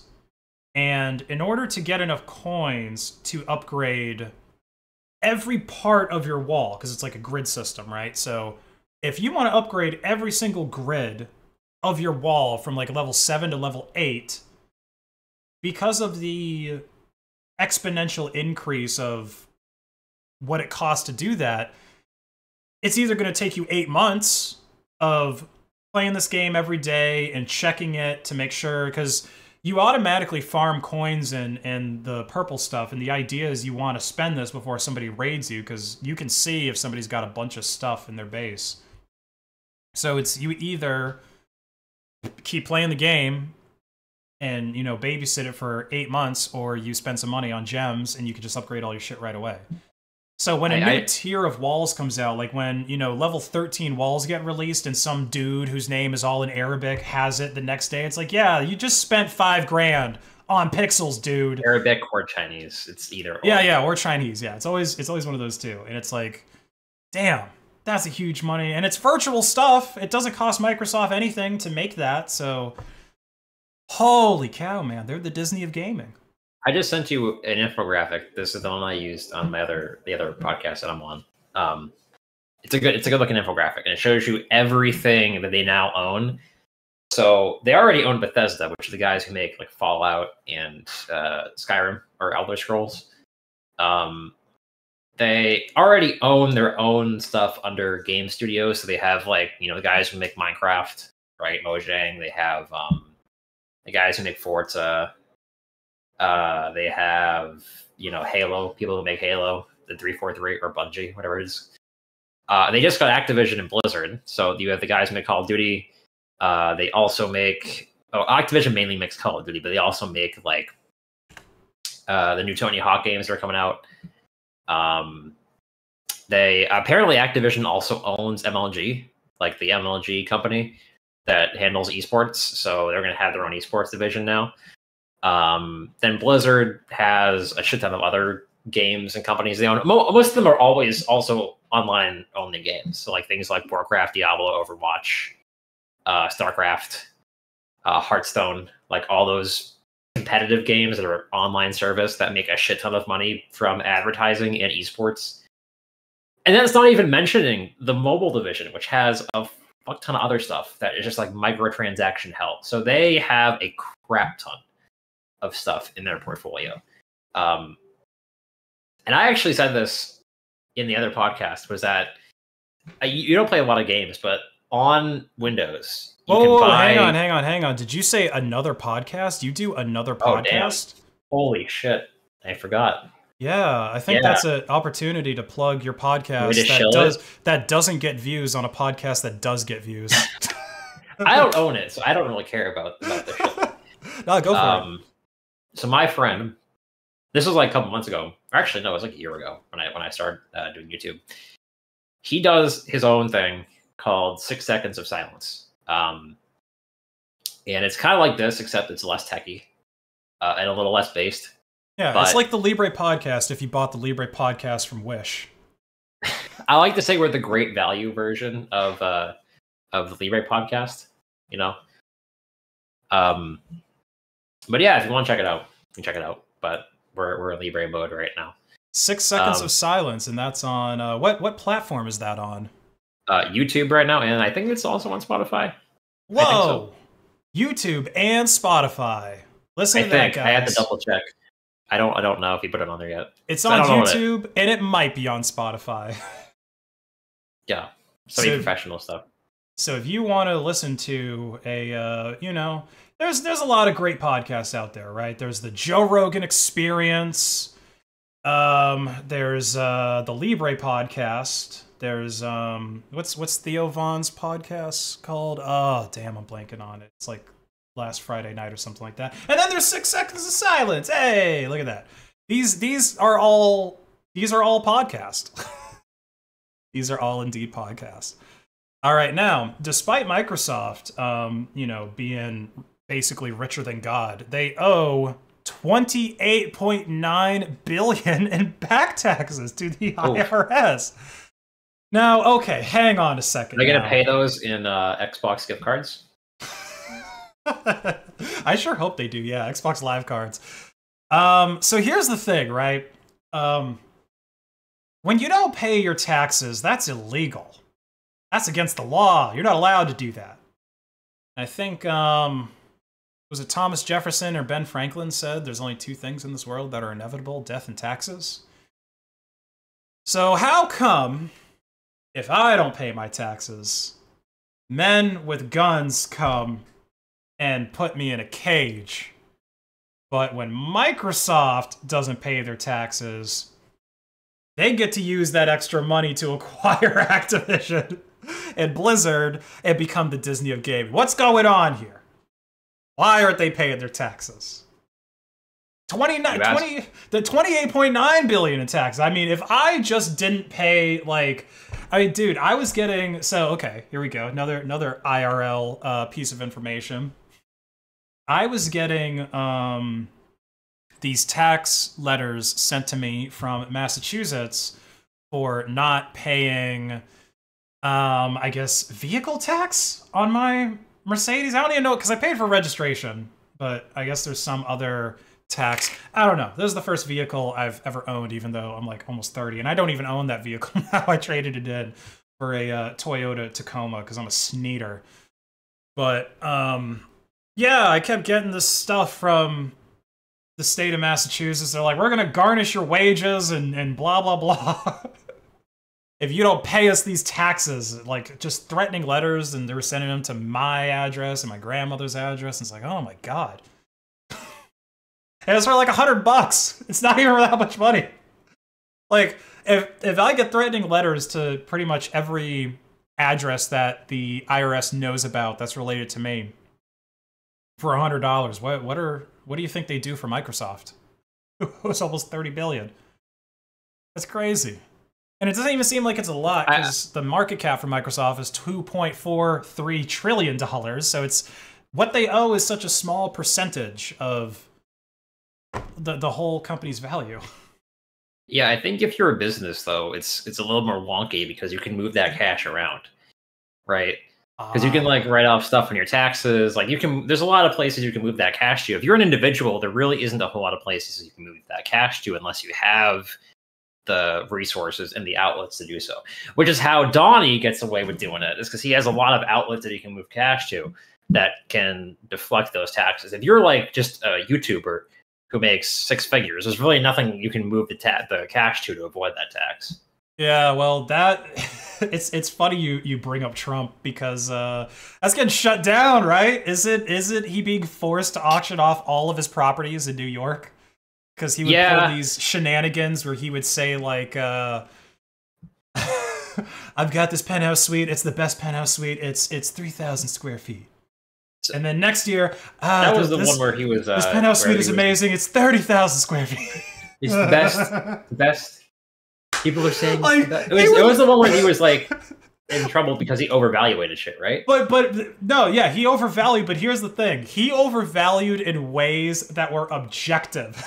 he was like, I'm pretty sure he lied about square footage of places, and I'm pretty sure it was like to that order of magnitude, where he's got something at three thousand square feet, and he says it's thirty.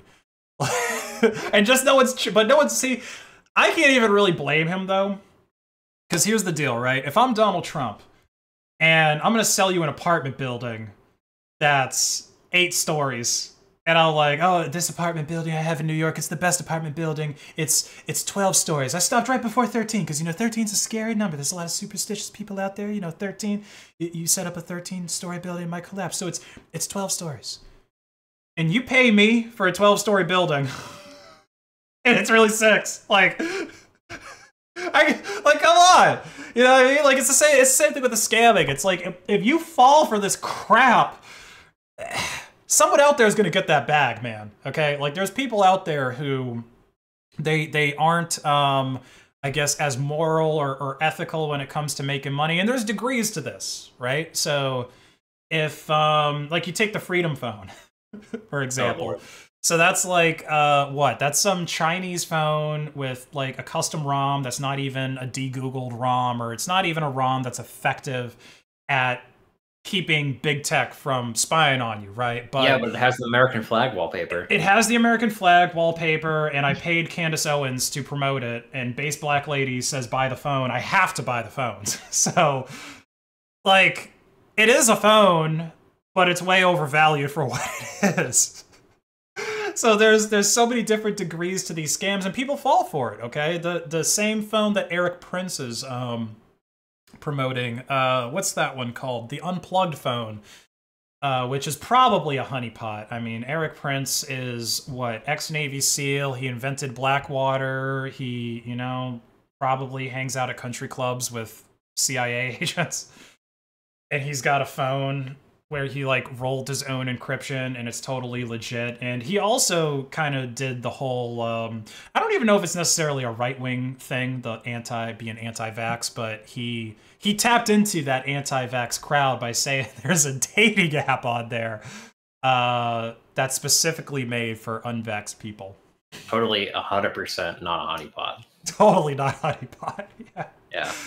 So yeah, I mean, there's there's degrees to to these scams, but my understanding is Trump's scams were just ridiculous, egregious, like on the level of saying something is many more thousands of square feet than it actually is or i don't think he literally sold an apartment building and said it was more floors than it actually is but it's like that type of stuff I think it was because he overvalued his property, right? But my my my reading into the situation was that the person bought it, and it was not like that person actually suing him. It's like the state suing him for Yeah. overvaluing it. But my problem with that is, if I if I sell you right this water bottle, and I say this water bottle is worth a hundred bucks, and then you agree and you purchase it, right? Fucking- if if fucking- you fucking here 100 bucks i'll give it to you right now give me that water bottle if, if you agree yes and you buy it for hundred bucks, so who was the, who was defrauded in that situation?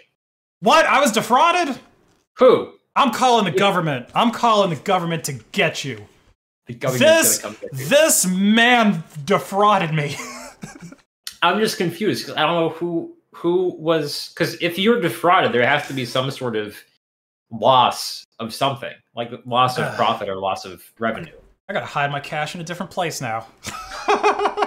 like who who the fuck was uh who who the fuck was offended in this situation? I was, and the government needs I to was. get you. You eat the rich. Yeah, I, th- I think that is that is accurate. Which you know, if if that is the case, where it's like the the government, well, it's it's. I mean, yeah, I, I don't think I'm really with that. Um, so let's move on to this next thing, which is uh, speaking of fake news, right? This is related to Trump. This is um, well, just fake news, I guess, related to Trump, but these uh, headlines about like. big tech is who vets these? Okay who vets headlines like meta made its llama 2 ai model open source because zuck has balls okay? Is it open source? Is it? Okay let's check. Let's check right? So we've got um here is meta's uh this is on meta's website. So this is like if you're gonna use if you're gonna program for Llama, and they talk about how Llama outperforms GPT-3. Well, here's the thing, right? Normally, when something's open source, you have some kind of license that's somewhere on it that says, "Oh, it's GPL or it's BSD or it's MIT." I don't see that there, right? Luckily, some dude on Hacker News was nice enough to throw together this Google sheet where we can look at different large language models and um, see things like their parameters, see what organization made them, and also see the license that made it. Okay, so let's look up Llama 2. And what is this? It's under a non FANG license. I haven't heard of that, but I have a feeling it's more restrictive than MIT, BSD, or Apache 2. All these licenses that you're, all these different AI models or large language models uh, that you're seeing in green. So it looks like there's a handful of them here that are more open. Let's uh, short sort this A to Z. Now, here's the thing, right? Obviously, none of these models have nearly as many uh, parameters as Llama or as GPT. Um, there's Open Llama, which looks like it might go up to 20 billion parameters. Let's see permissively licensed open source reproduction of Meta's AI Llama. So here we go, guys. Zuck does not have balls. Open LM Research does. And they're much bigger than Zuck's. And they're smoother. And they smell more pleasant. so yeah, we've got like here you go as an example of a large language model that is actually open. Like you, the licensing is such that you can actually use this, um, and like I guess do more or less whatever you want with it, right? And this is the thing that we see people complaining about, or at least that we see uh, the media complaining about, saying that oh god, it's dangerous to let people have these large language models because oh my gosh they could like what, what's the biggest thing that they're complaining about with the large language models because those those don't produce the deep fakes right large language model isn't the same as the deep fake or is it I think the large language models are used for data processing. Yeah, data Yeah. processing and text. Yeah. yeah so i've seen people using them to like cheat on tests like that's that's the new thing is that if you're a yeah, kid, and like write essays for you. Yeah, that kind of shit. Yeah, like no one uses Spark Notes anymore. You use ChatGPT to like write your test. Although, it's funny that you know that we came to this because my sister actually wanted me to take some kind of algebra test for one of her friends. And uh, apparently, it wasn't really proctored or anything. Like they were saying, "Oh yeah, I could, you know, easily sign in and do the test for her." And I was about to do it, but it was 300 questions, and I don't want to answer 300. Like, I can do algebra, but I don't want to answer 300 questions. And I was asking, why don't you just have ChatGPT do it? But she was saying it couldn't solve it. So either ChatGPT can't do algebra, unlikely, or my sister and her friend don't know how to work ChatGPT. That's probably the case. They're not that great with computers. Have you actually used ChatGPT in any uh, faculty? No, I haven't. I, I didn't really get in before it was as open as it was and try it out. The only ones I've messed with are uh, Stable Diffusion. Like I, to me, I like the artwork stuff because I'm actually pretty good at writing. Like you know, I, I can write. I, I actually took a creative writing class in school. Um, I can write jokes. I'm pretty pretty good at writing jokes. I can like make up creative stories and like poetry and stuff like that. But I can't draw for shit. So for me, being able to describe what I want drawn, which I'm pretty good at, is um, way easier than me actually learning GIMP or Photoshop or like how to use a paintbrush or anything like that. So yeah, I tend to do the the um like stable diffusion and uh Dal DALL-E 4, I think is the one that Bing has. Yeah. Yeah, I I dug up an old Hotmail account to log in because you got to log in on Bing to use it. And I, have uh, used ChatGPT to um to look up shit because we because I use some open source stuff at work and uh yeah you can go through the community right you can go through the forums and like dig through forum posts to find your solution or you can have ChatGPT do it for you um mm. and that's that's kind of where I, I think it's useful is that it's if you need to like research some shit uh, and you don't want to like do all the digging yourself, it, it can just give you like if I'm asking it, uh, like the specific thing I was asking it was like, can I do X in this open source software? And it was like, yeah, you can. Here's the way to do it. Um, rather than me spending you know two and a half hours trying to dig through forum posts to figure out if I can do it or not. So with that specific example, well, obviously it worked out good for you. But I, I would be real skeptical of using ChatGPT that way. And I'll tell you why. There's been a number of times that I've looked up random things and I end up on some kind of forum. Actually, here's here's a good example of one that I recently had to deal with. I was trying to figure out whether or not it is safe or a good idea to use pressure treated wood to build a chicken coop. Now, the reason I was unsure of this is when you pressure treat wood, there's chemicals that they put in it that basically prevent bugs from eating it, and it also makes it more weather resistant and stuff like that. Now, at first, some of the answers I was seeing was that you can't keep chickens in like a pressure treated coop. Um, in fact, I don't think you can even use pressure treated wood at all on a livestock farm and be considered certified organic.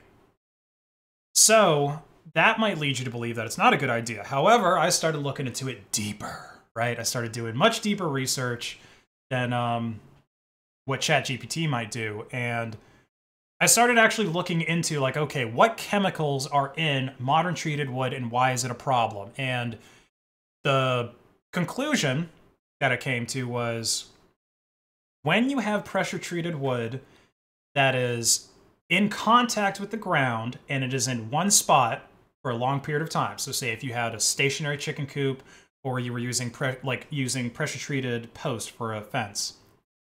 What's going to happen is copper is going to leach into your soil and it's going to put the copper so it's not even a completely foreign material. Like copper is in soil. It's it's a it's a mineral but you don't want your copper levels to be too hot. So that's where it might become a problem. Um, but even then, like having high copper, it's it's not like someone salting your field, or it's not like you had an oil spill or toxic sludge. Like it's it's copper. It's not that big a deal. And in my case, it's not a problem at all because I like to build mobile chicken coops, and that's actually what this coop is going to be. It's going to be a chicken coop on wheels um, two caster wheels that swivel in the front and two stationary ones in the back, so kind of like a giant shopping cart uh, with chickens in it. and it's going to get moved every day.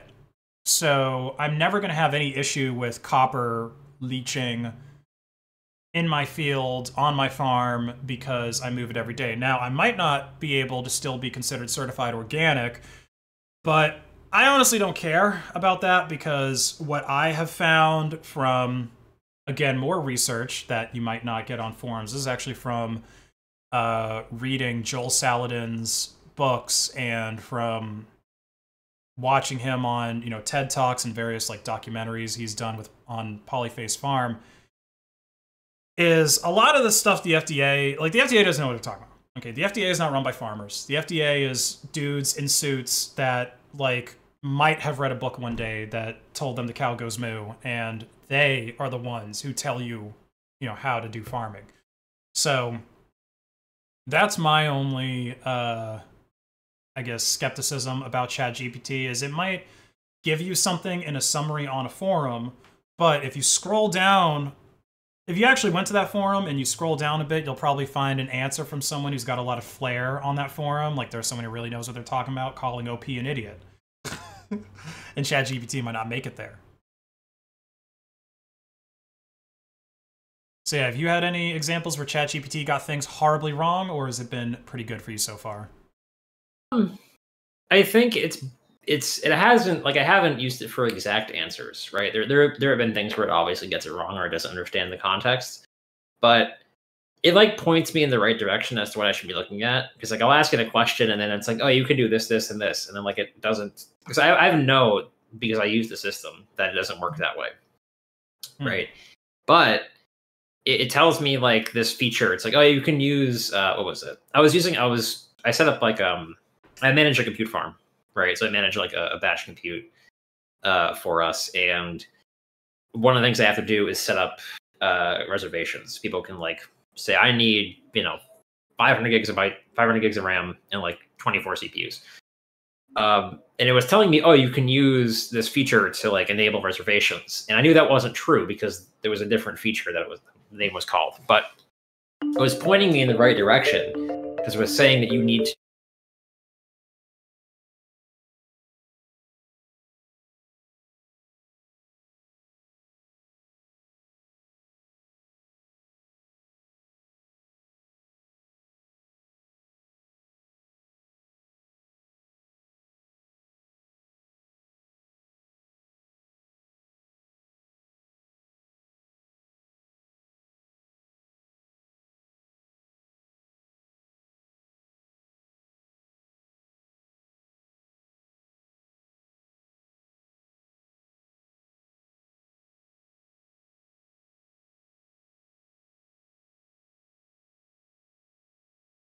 You know what? You actually just jogged my memory.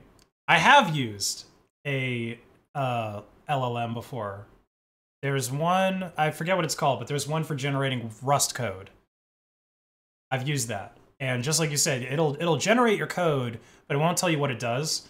Because I was I was trying to play with it as a way to sort of like learn Rust better. Like I would try to build something really simple myself, like oh, implement a calculator that can do addition, subtraction, multiplication, division, and run it and just see like, oh, you know, what did I get compared to the AI? Is my solution better than the AI's?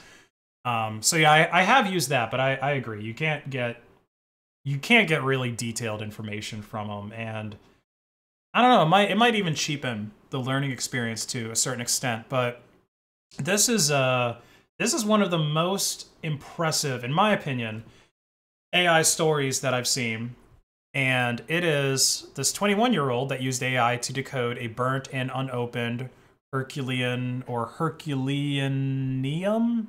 So I guess that's from the Herculean. I don't I don't know what this word means, but anyway, it's some old Greek stuff, some old Greek scroll that nobody knew about, and it was you know burnt, and I guess they didn't necessarily want to open it because they thought it would make it worse. He decoded it with AI, and uh, actually here Let's just read what it says. Mount Vesuvius. Uh, oh, so this is from Pompeii. Okay, it's the city of Herculaneum. That's what it is. Okay, so yeah, when the Pompeii incident happened, um, it was buried for 2,000 years. Then it was excavated in the 1700s, and people didn't want to undo the scrolls because yeah, they would turn to ash. But this person, um, is this the person? Or wait, no, that's not the person. That's just the person announcing it. Today, we are announcing a major breakthrough in the Vesuvius Challenge. We have read the first word from an unopened Herculeanum scroll. The word is uh, some Greek mishmash that I can't read.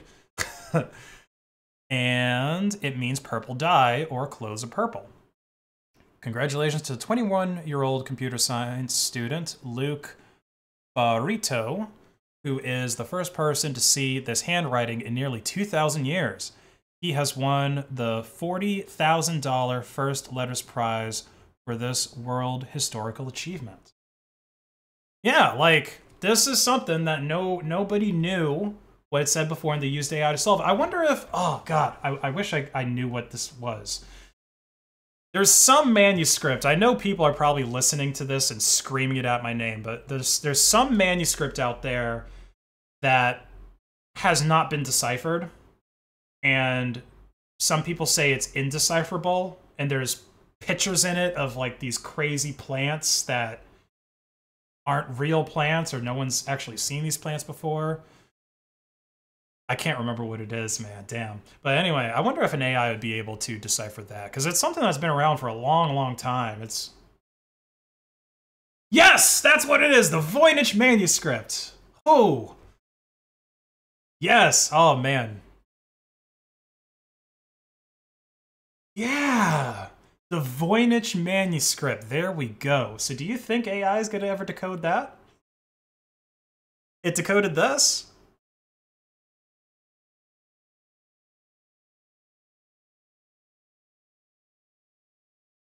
It's a made up language, right? Yeah, because this is at least a real language.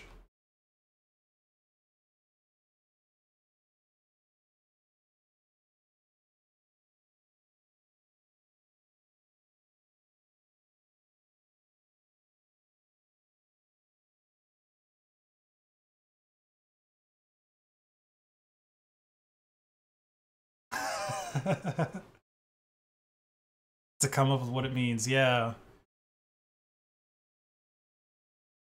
Yeah, right. Well, I, I when did I first learn about the Voynich manuscript? I think it was a Terence McKenna talk that I first heard about it. right, an ancient frog poster. Just made up the voice. Well, that's like um like uh what was it? It wasn't cicada. Cicada is something, but I don't think they ever figured out what cicada was about. But there was there was some like internet scavenger hunt that was similar to cicada that just ended up being a big nothing burger. So I guess it, it might be something like that. It just really ends up being a giant shitpost. All right, so our next story is about Best Buy ceasing the selling of physical media, DVDs and Blu-ray media after the holidays. So if you want to buy physical media at Best Buy, this is your last chance to do it. It goes away after that. Now, of course, I have a soft spot in my heart for Best Buy because I worked at there for so long. And uh, do you do you have a soft spot for Best Buy? Well, you were never really you were never really technically a blue shirt, right? You went straight to Geek Squad. Ah, see, I worked my way up the hard way. I got into um, it was computers, the computers department at the Cambridge Mall. And then I think I was in computers the whole time and then I transitioned from computers to Geek Squad because it's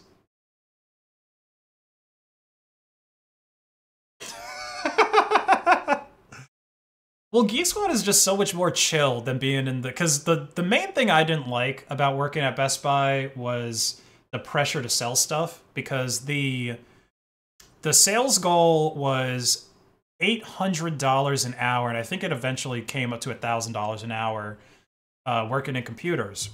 And what I found was like this this kind of comes comes back to the whole like I guess, ethics thing. Like, I used to be really hung up about offering people the Best Buy credit card. And the reason I was so hung up about it is because I have had and probably still have some family members that are in credit card debt. Like, they've been, you know, they, they went deep into debt. Now, I know now at this point, you know, now that I'm not such a young warthog anymore, that uh, credit cards you can actually like not make money, but you can save money with credit cards, right? Like we were talking about this a few days ago about how um, you get certain percentages of cash back for buying gas, or you get a certain percentage in cash back for groceries, and it's like that's literally as long as you're not an idiot and you pay off your entire balance with a credit card every I do it just about every day. Um, so that I know it's not going to carry over or whatever. You end up saving money using a credit card versus using cash or using your debit card or anything else. But back then, I still kind of saw them as this evil thing, and I saw it as like kind of predatory to offer people credit cards to finance like a computer or something that they can't afford. But if you don't do that, if you don't have, if you're not selling a MacBook every couple of hours, you're never going to hit your goal at Best Buy. And the other thing that was annoying too is we all knew that. Like everyone in Best Buy, like if you're actually trying to do your job, right? Like if you're trying to hit those sales goals and you're trying to get promotions and stuff like that, you usually end up coming up with a strategy, which is I'm going to hang out by the most expensive stuff in my department and I'm going to sell that to anyone who looks at it. And so you would just have yeah, yeah. And so that's what we did. When we were in the computers department, we would camp the Apple section and we would sell Apple stuff and you'd have like I don't know, some some lady or some person, some guy who it doesn't matter, who is looking at like the plastic case, you know, Dell laptop. And I mean, it's an okay computer under the hood. It's a quad core. It's eight gigs of RAM, but it costs 400 bucks.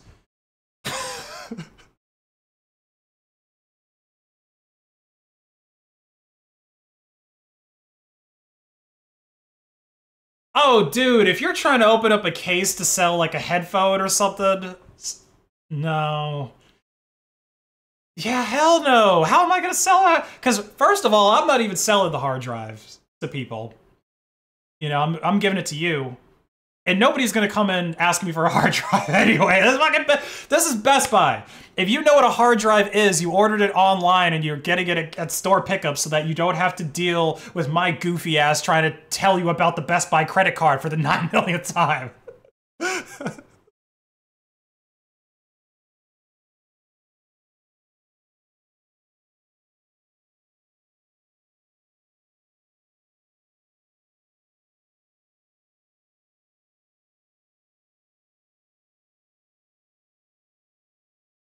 Okay.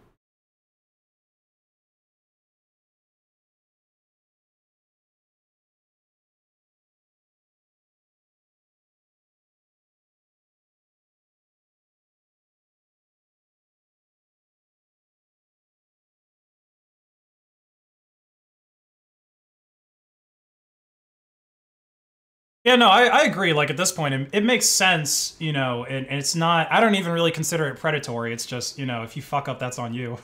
if if you don't make your payment, if you don't make your payment, Citibank or whoever they do the credit card with will fuck you in the ass with like nineteen percent interest or whatever. Uh, but like the DVDs are gone, and and I remember telling. Well, I don't think you really remember the guy. I don't remember his name, but I remember there were these guys that would occasionally come in and like they have this routine where they would just kind of look through the bin of DVDs. And one of them was actually kind of a cool. Oh, oh, wait, wait, wait. His name almost came to me, but I just remember that he used to live in Southie. Because I remember when I was moving out, he knew this um real estate gal that was in Southie that he was trying to uh you know hook me up with an apartment. But anyway, like it was an interesting dude to talk to. The dudes that perused the DVD bins were good people to kill time talking to if you were a blue shirt and you just didn't want the GM to harass you. It's like, I'm helping a customer. He's trying to find Babe too. This is an important transaction. oh man, I was so overworking at that place. But yeah, man, physical media is going away. It's all it's all streaming, which to most people, you know, that have good internet connections, I guess that's cool. But what about the people like me that are trying to go to my farm and what, let's say I have to stay out at the farm overnight because maybe there's a fox or a raccoon that's harassing my chickens. So you're telling me that I have to sit there in my truck with a shotgun, protecting my chickens, streaming content? Well, the best I'm going to get is maybe 240p and still a few hiccups. So yeah, DVDs, man. Where do we go to get DVDs now? Where do we go to get Blu-rays?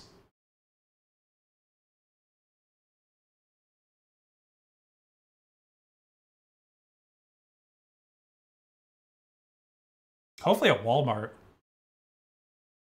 Because there's not even a Best Buy near me, so this isn't even. I mean, I, I I know that that is a real example of people out in like rural places needing physical media, but Best Buy isn't even where we would get them. I don't even know where the nearest Best Buy to me is. Probably in Richmond, which is like a two-hour drive so far. Yeah, so Best Buy is going to cease the selling of physical media, and probably a lot of other stores are going to follow the leader because nobody buys DVDs anymore. And the streaming sites are just to start getting bigger and bigger. This was another interesting thing that I saw, which is YouTube is claiming the first ever lead over Netflix in teen viewership.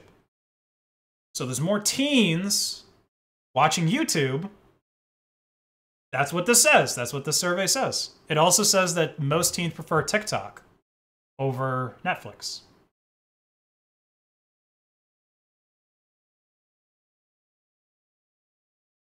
Oh, really? I thought it would. I thought it would be the other way around.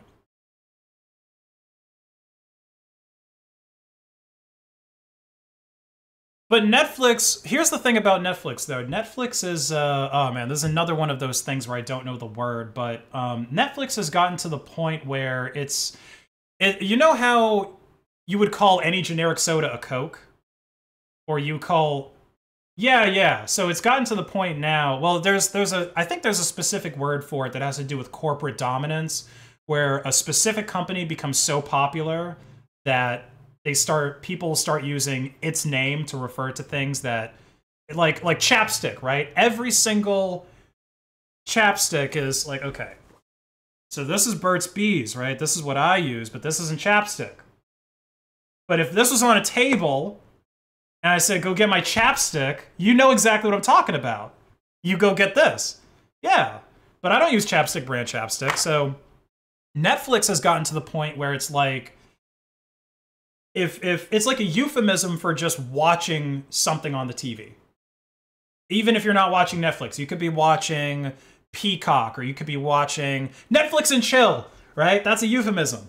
It means we're gonna watch something on TV and I'm gonna see if I can get in your pants, right? It's it's not called Prime Video and chill. It's not called Paramount and chill. It's not even called Watch TV and chill. It's Netflix and chill, regardless of what you're putting on. So that's why I'm impressed by that because I thought Netflix was way was way bigger than that. But um, yeah, let's get into the uh, percentages. So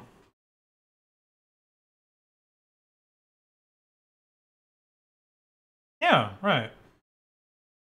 Investment bank Piper Sandler's 46 semi-annual Generation Z survey of 9,193 U.S. teens via CNBC shows that par- participants spend 29.1% of their daily video consumption time on YouTube, and Netflix was a close second at 28.7%. So they're not beating them out by a lot, but there's a slight margin.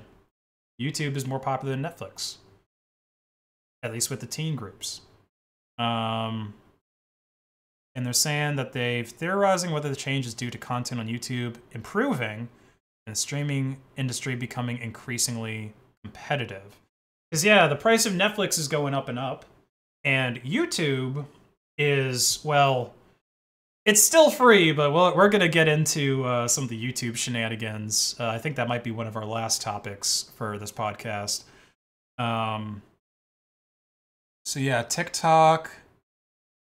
Actually, it looks like there's more people using. Oh wait, no, percentage of daily use. So TikTok is 38.4% of the daily use. Holy cow. Oh man. Oh man, that app came out of nowhere and just took over just took over the teens' minds. I don't think I asked my nephew if he. I gotta figure out if my nephew uses a TikTok or not. Try to try to fix that, nip that in the bud real quick. Yeah, so YouTube is um, really like, and they've been here before uh, Netflix. So Netflix kind of came, I guess, got ahead of them, and now YouTube's pulling back in the lead. But YouTube TV, which I assume is part of that uh, previously uh, that study that we were looking at where YouTube has become more popular amongst teens, which now cost $73 a month because the price of YouTube TV and YouTube Premium just keeps going up. They've agreed to end the $600 less than cable ads. So, this is what we've seen.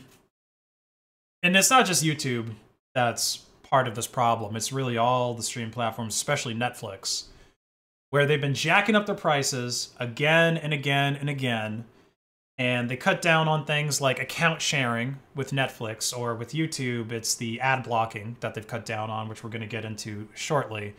But it's gotten to the point now where I'm pretty sure streaming platforms, if you own more than, or if you pay for probably more than three, you're paying more than you did for cable. I mean, do, do you pay for any stream platforms right now? Or do you know anyone who does? Okay, I think Mike stepped away. But anyway, um, with uh, with YouTube TV, you're paying $73 a month. Netflix, I think, is up to like possibly 20 or $30 at this point. So right there, you're almost at 100. Um, Prime Video, I actually had Prime Video for a while and I canceled it. I think that was 19.99 a month. So yeah, like if you get to three or more subscriptions, I'm pretty sure you're going to end up paying more than you did for cable. But we were told it would be the opposite. We were told that cable was the old school thing, and we had uh, what is it that South Park episode where you know they they're showing us the cable company guys. They know that you're fucked, so they just rub your nipple they, their nipples when you complain about them. And with streaming services, yeah, there's a bunch of competition, but they all seem to pretty much be in agreement that we're all going to raise our prices around the same time. So yeah, YouTube TV is jacking up their prices, and YouTube is also rampantly blocking ad blockers. So this is something that uh, you may have seen a notification of where YouTube shows you this uh, notification that, oh, YouTube doesn't allow ad blockers. You have to disable it in order to continue. And the reason we're looking at uBlock Origin is this is the most popular ad block um, add-on in existence right now, I'm pretty sure. And you can see how the development has been going, where they've been trying to... It's basically a game of cat and mouse, where the uBlock devs keep coming up with new ways to block ads and block ads in a stealthier way so that uh, they, you know you don't get flagged by YouTube. And I'm not even exactly sure how YouTube is detecting ad blockers. I mean, you can use um, there's a couple of ways to detect add-ons. Maybe it's through the user agent. I'm not entirely sure, but you could have the add-on and then you might just have it disabled I'm pretty sure that you can still use uBlock in that circumstance, or they can just make an update to the uBlock Origin software and find a new way around it. Let's actually look at the issues now. Let's see, are there any issues with YouTube blocking it? I'm not actually seeing any. Yeah, so there's one from back in 2018 so it looks like uBlock might actually be winning the battle against YouTube and ad blocking right now.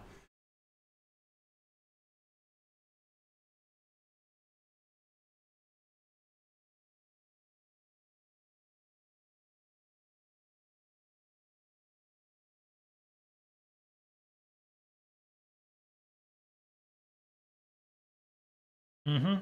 They they actually just made a they actually just made another commit as we've been doing this podcast. Yeah, but this isn't. I don't think this is to do with. Uh, it's a version change, um, but a very minor one.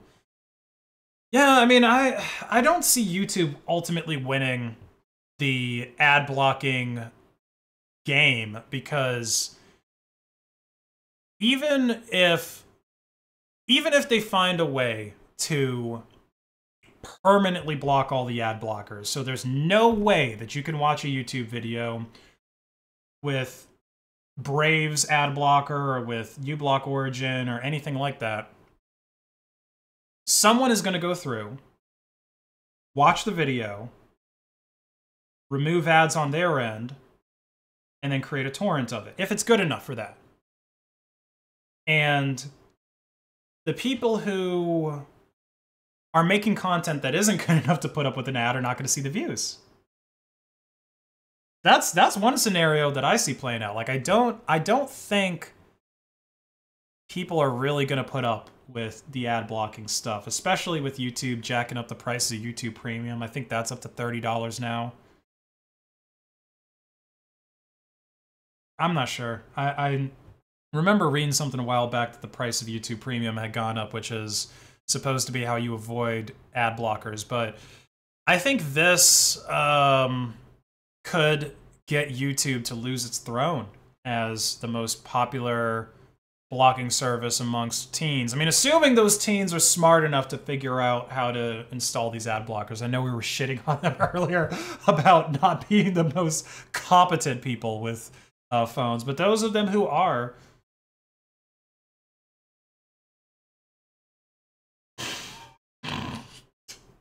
That's right. For every for every YouTube ad that you see, we block it, but then we show you five of our own. yeah, whoever figures it out. You know, I genuinely wonder cuz I I feel like people are less like kids, teenagers are less tech savvy now than they used to be. I wonder if like if you do go to high school and you are a pretty tech savvy person, like do you end up being do you end up being kind of cooler? Like if people don't know how to pirate music, for example. There's some kid out there who can't afford Spotify, right? Or is Spotify free? And you just listen to ads and deal with music. I don't even have a Spotify account, so I don't know how that works. But um I'm sure there's someone out there who is in high school and like knows how to torrent music and they're probably one of the only people in their class that knows how to do that and they could hook you up. They could probably start well, people don't buy CDs anymore, do they?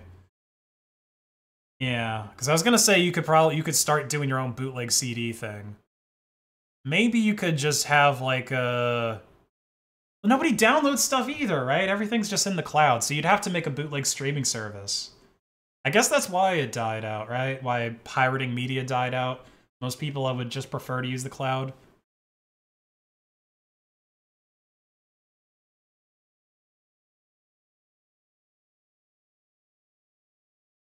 You help them out.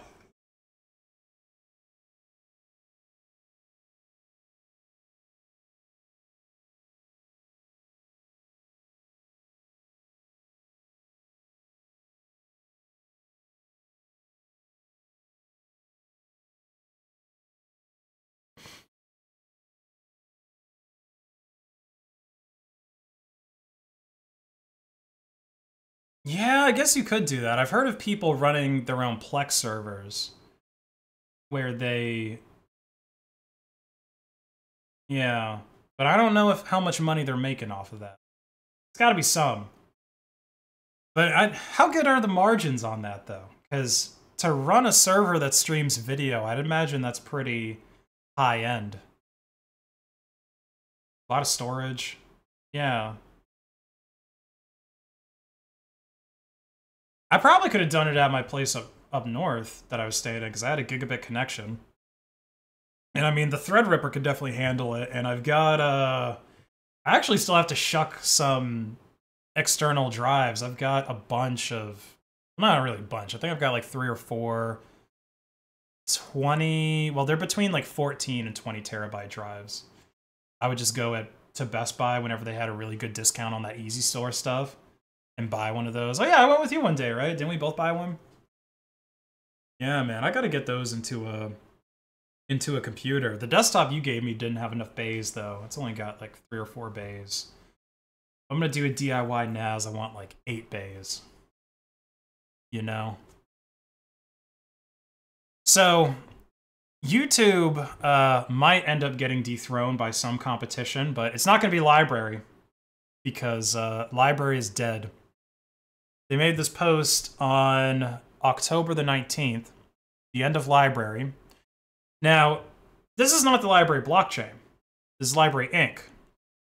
Because LBRY Inc., the company, lost a judgment to the federal government. They've got several million dollars in debt, and so they've you know pled to shut down. They're probably bankrupt. But what's happening to the LBRY network, right? This is what they say here. Um, oh, actually, well, let's read what happened. What's happening to LBRY Inc. first? So, LBRY Inc. has debts to the SEC, its legal team, and a private debtor that it cannot pay. Its assets, which include Odysee, are being placed into receivership. At this, as of this post, all LBRY executives, employees, and board members have resigned. All will be doing what is required to satisfy any extending legal requirements, but no more. So, Odysee sounds like it's um, pretty much up for sale, or it could easily become a different thing.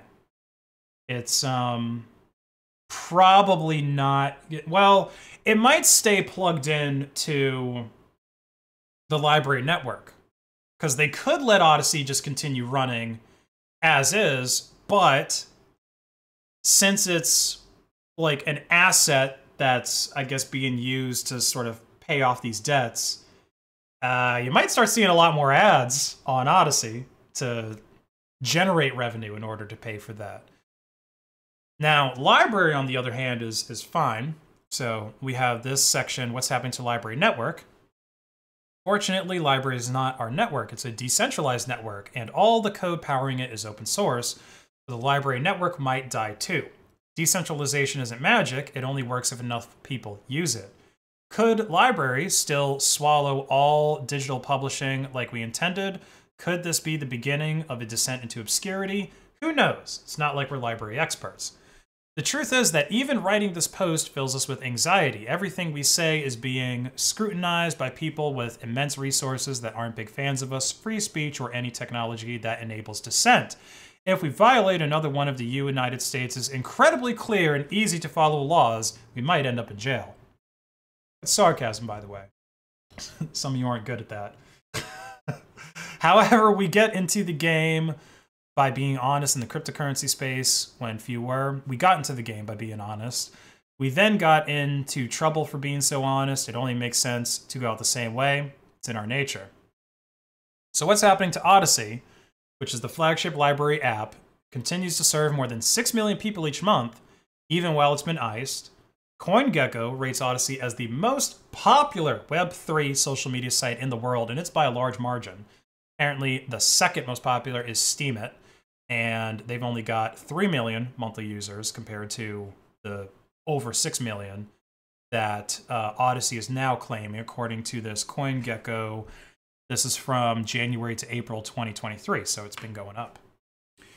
Odysee's popularity makes it the most valuable asset of LBRY Inc. While it's nearly certain the Odysee assets will be assumed by someone interested in resuming its growth, it's unclear if Odysee will continue to use the LBRY network in the future. So, this is what, what I was um, kind of talking about, where uh, Odysee is going to continue on, and it's you know most likely going to be used to continue generating revenue, but it's probably not going to be the same thing as it was uh, it might not even necessarily continue using the LBRY protocol in the future. It could switch to another cryptocurrency, or it could try to become a traditional Web 2 platform like YouTube is.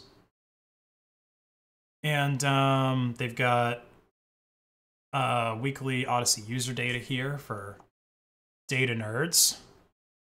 So this is showing, um, let's see, 9 1.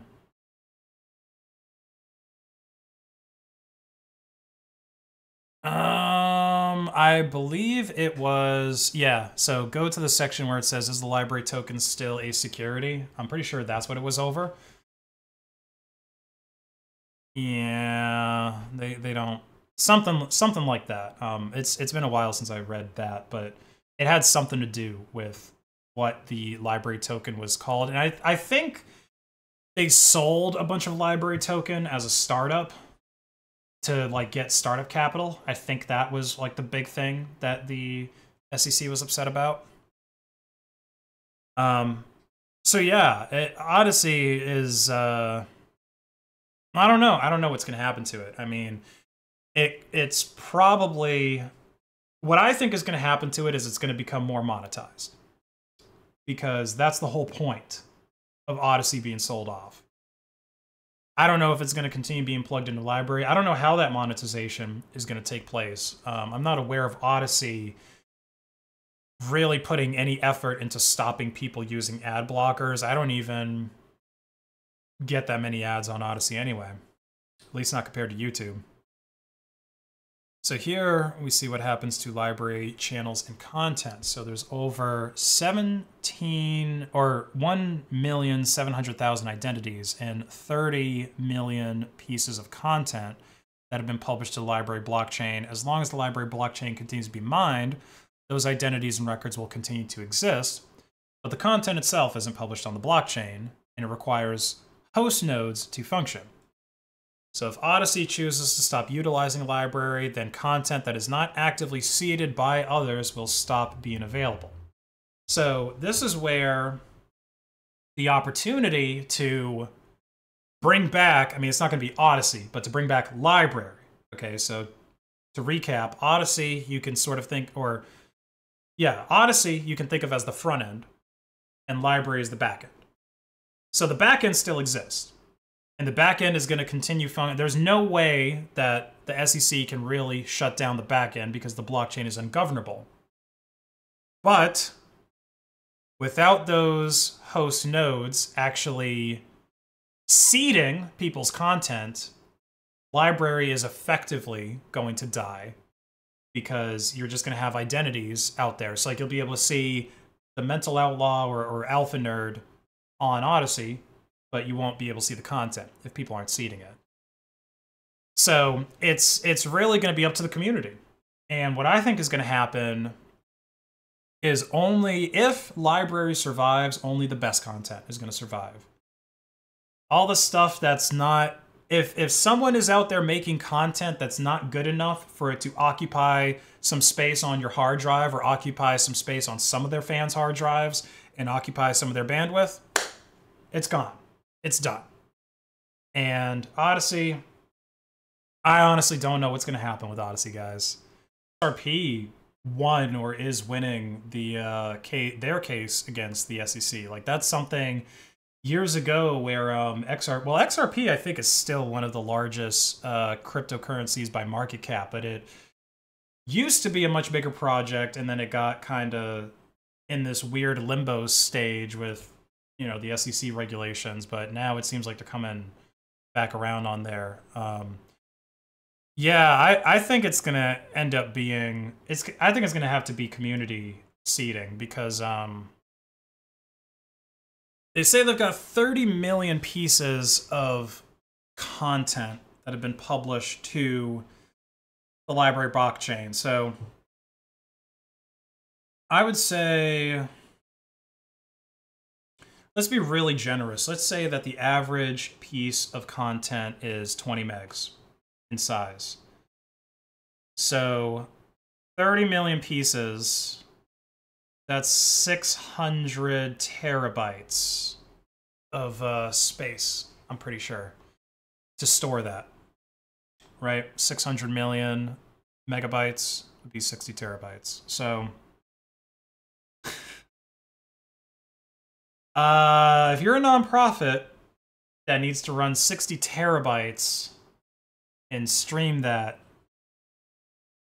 uh, I don't see it happening, man. I don't. I don't see it coming from a nonprofit. Maybe decentralized, but no way it's coming from a nonprofit. And then if it's just decentralized, well, if it's just decentralized, you might be able to have a nonprofit to build a front end like Odysee for it, because most people who use most people aren't using the LBRY app, they're using Odysee, They're using some kind of front end. So maybe you could do that, but I don't know how expensive it is to run something like Odysee. To be able to just uh,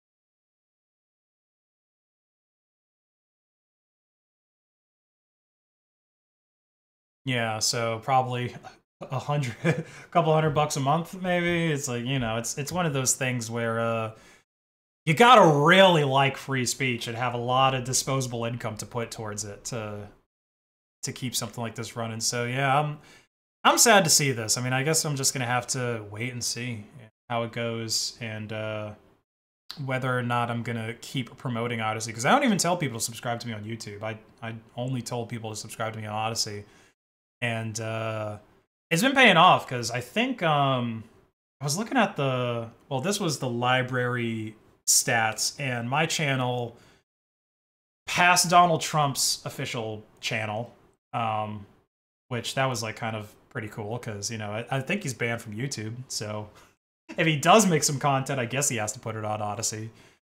Um, yeah, man, that's too bad. Maybe we're gonna have to start creating on Rumble. I don't even really know too much about Rumble. I know one of um, the Predator Catcher guy I was talking about before. He posts a lot of con content out on Rumble.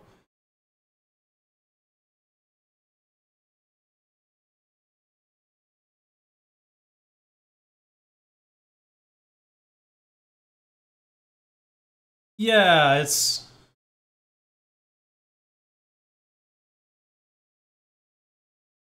Oh, really? Okay. Jeez. okay. I mean, hey, that that works. That works. Yeah. I mean, that well that's that goes with all the banning and stuff. Obviously, if you're going to ban people for stuff, then they're going to go wherever they're accepted. All right, I think I think this is our last story about the biggest DDoS of all time generated by protocol um, in HTTP 2. Did you hear about that? Literally the biggest DDoS of all time. Let me see if it, uh... Let's see. So, an attack on Google on a site using Google's cloud infrastructure topped out at 398 million requests per second. That's a hell of a DDoS, but can you imagine? Almost Yep. so HTTP 2 slash rapid reset is a novel technique for waging DDoS of an unprecedented magnitude. It wasn't discovered until after it was already being exploited to deliver record-breaking DDoSes. One attack on a customer using the Cloudflare content delivery network peaked at 201 million requests per second, almost triple the previous cloud previous record Cloudflare had seen of 71 million requests per second. So right out the gate, it's like three. It's triple whatever they had seen, and um, I saw the one about Google successfully mitigating it because that one that I was telling you, where it was 398 million requests per second, that's almost eight times bigger than Google's previous record that they mitigated of 46 million. And um, it was coming from a network. The one that hit Cloudflare was coming from a network of 20,000 machines. So 20,000 machines producing almost 400 million requests per second. Well, relatively small for the amount of requests that they're putting out, right?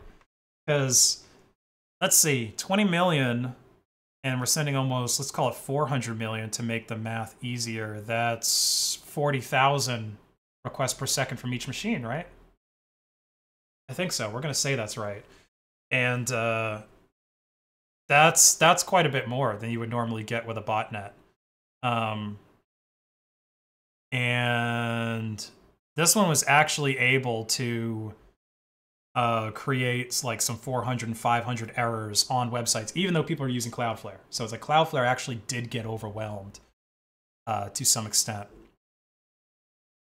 So the vulnerability that HTTP 2 rapid reset exploits resides in HTTP 2, which went into effect in 2015, and it's undergone several overhauls since then. Um, let's see. I don't know if they actually really tell us how to do this particular exploit um, falls into a type of DDoS known as application layer attacks. Okay, so it is at the application layer. Rather than trying to overwhelm the incoming connection to exhaust the routing infrastructure, application levels attempt to exhaust the computing resources. Okay, so basically they're they're hitting this is actually what happened to my website when I first launched it and um, I forgot to migrate it to from the test server to the real server, where I was getting um, like uh, I was getting too many API requests, and I had it hosted on a single core processor. and it was like, oh my god, there's a thousand people trying to access my poor. And it wasn't even uh, it wasn't even single core; it's a vCPU. so when I first launched v- based.win, it was on a vCPU, and that's why um, the website went down. Because like, you know, most of the time when I publish a video, it'll get like ten thousand views within the first hour. So all those people were like hitting my website. And I'm sure there was some people that were probably trying to DDoS me on purpose and like just be shitty. But yeah, um, it overwhelmed the. If that gets to your server, it doesn't matter what you're using to run your server. Like your CPU percentage is going to peak to 100%, and you're going to get those uh, 400 and 500 errors. Wow, that's uh, that's that's pretty nuts. So let's see uh, how it ended up getting mitigated. Um, pushed back. The idea of rapid reset attack isn't viable on an array. Oh, so they thought it wasn't even something that was possible to do, and they managed to pull it off. Yeah, I mean that's that's something that's going to have to be mitigated because twenty thousand malicious machines to take down sites that are using Cloudflare that's almost the same number of machines that have been compromised by that Cisco, um, what is it, the Web API takeover exploit. 10 out of 10 critical if you've got, what is it, Web API enabled on a Cisco device and that Web API is bound to a public IP or, or any IP where an attacker can see it, they're able to take over uh, if it's bound to the HTTP server. That's that's the the key part. So if you have an HTTP server with that uh, web UI on it mounted to a public or um, even if it's a local IP and you've got someone in the office that feels like being a hacker man, they can take that over. So you could, uh, if you were controlling those machines and you have uh, other servers that are vulnerable to this HTTP 2 vulnerability, you could actually take them down, even if they're using Cloudflare. Holy moly. The worst DDoS attack in history and one of the most like retarded router exploits ended up coming out in about the same couple of weeks. All right, guys, we are at uh, just over the two hour mark, so I think that that's a good time to wrap Oh, that's what that was? All right, cool. Well, yeah, that's it for this episode of the Libre podcast. Hope you guys enjoyed. Be sure to like and share to hack the algorithm. Uh, follow me on Odysee if they're still going to be around. And have a great rest of your day.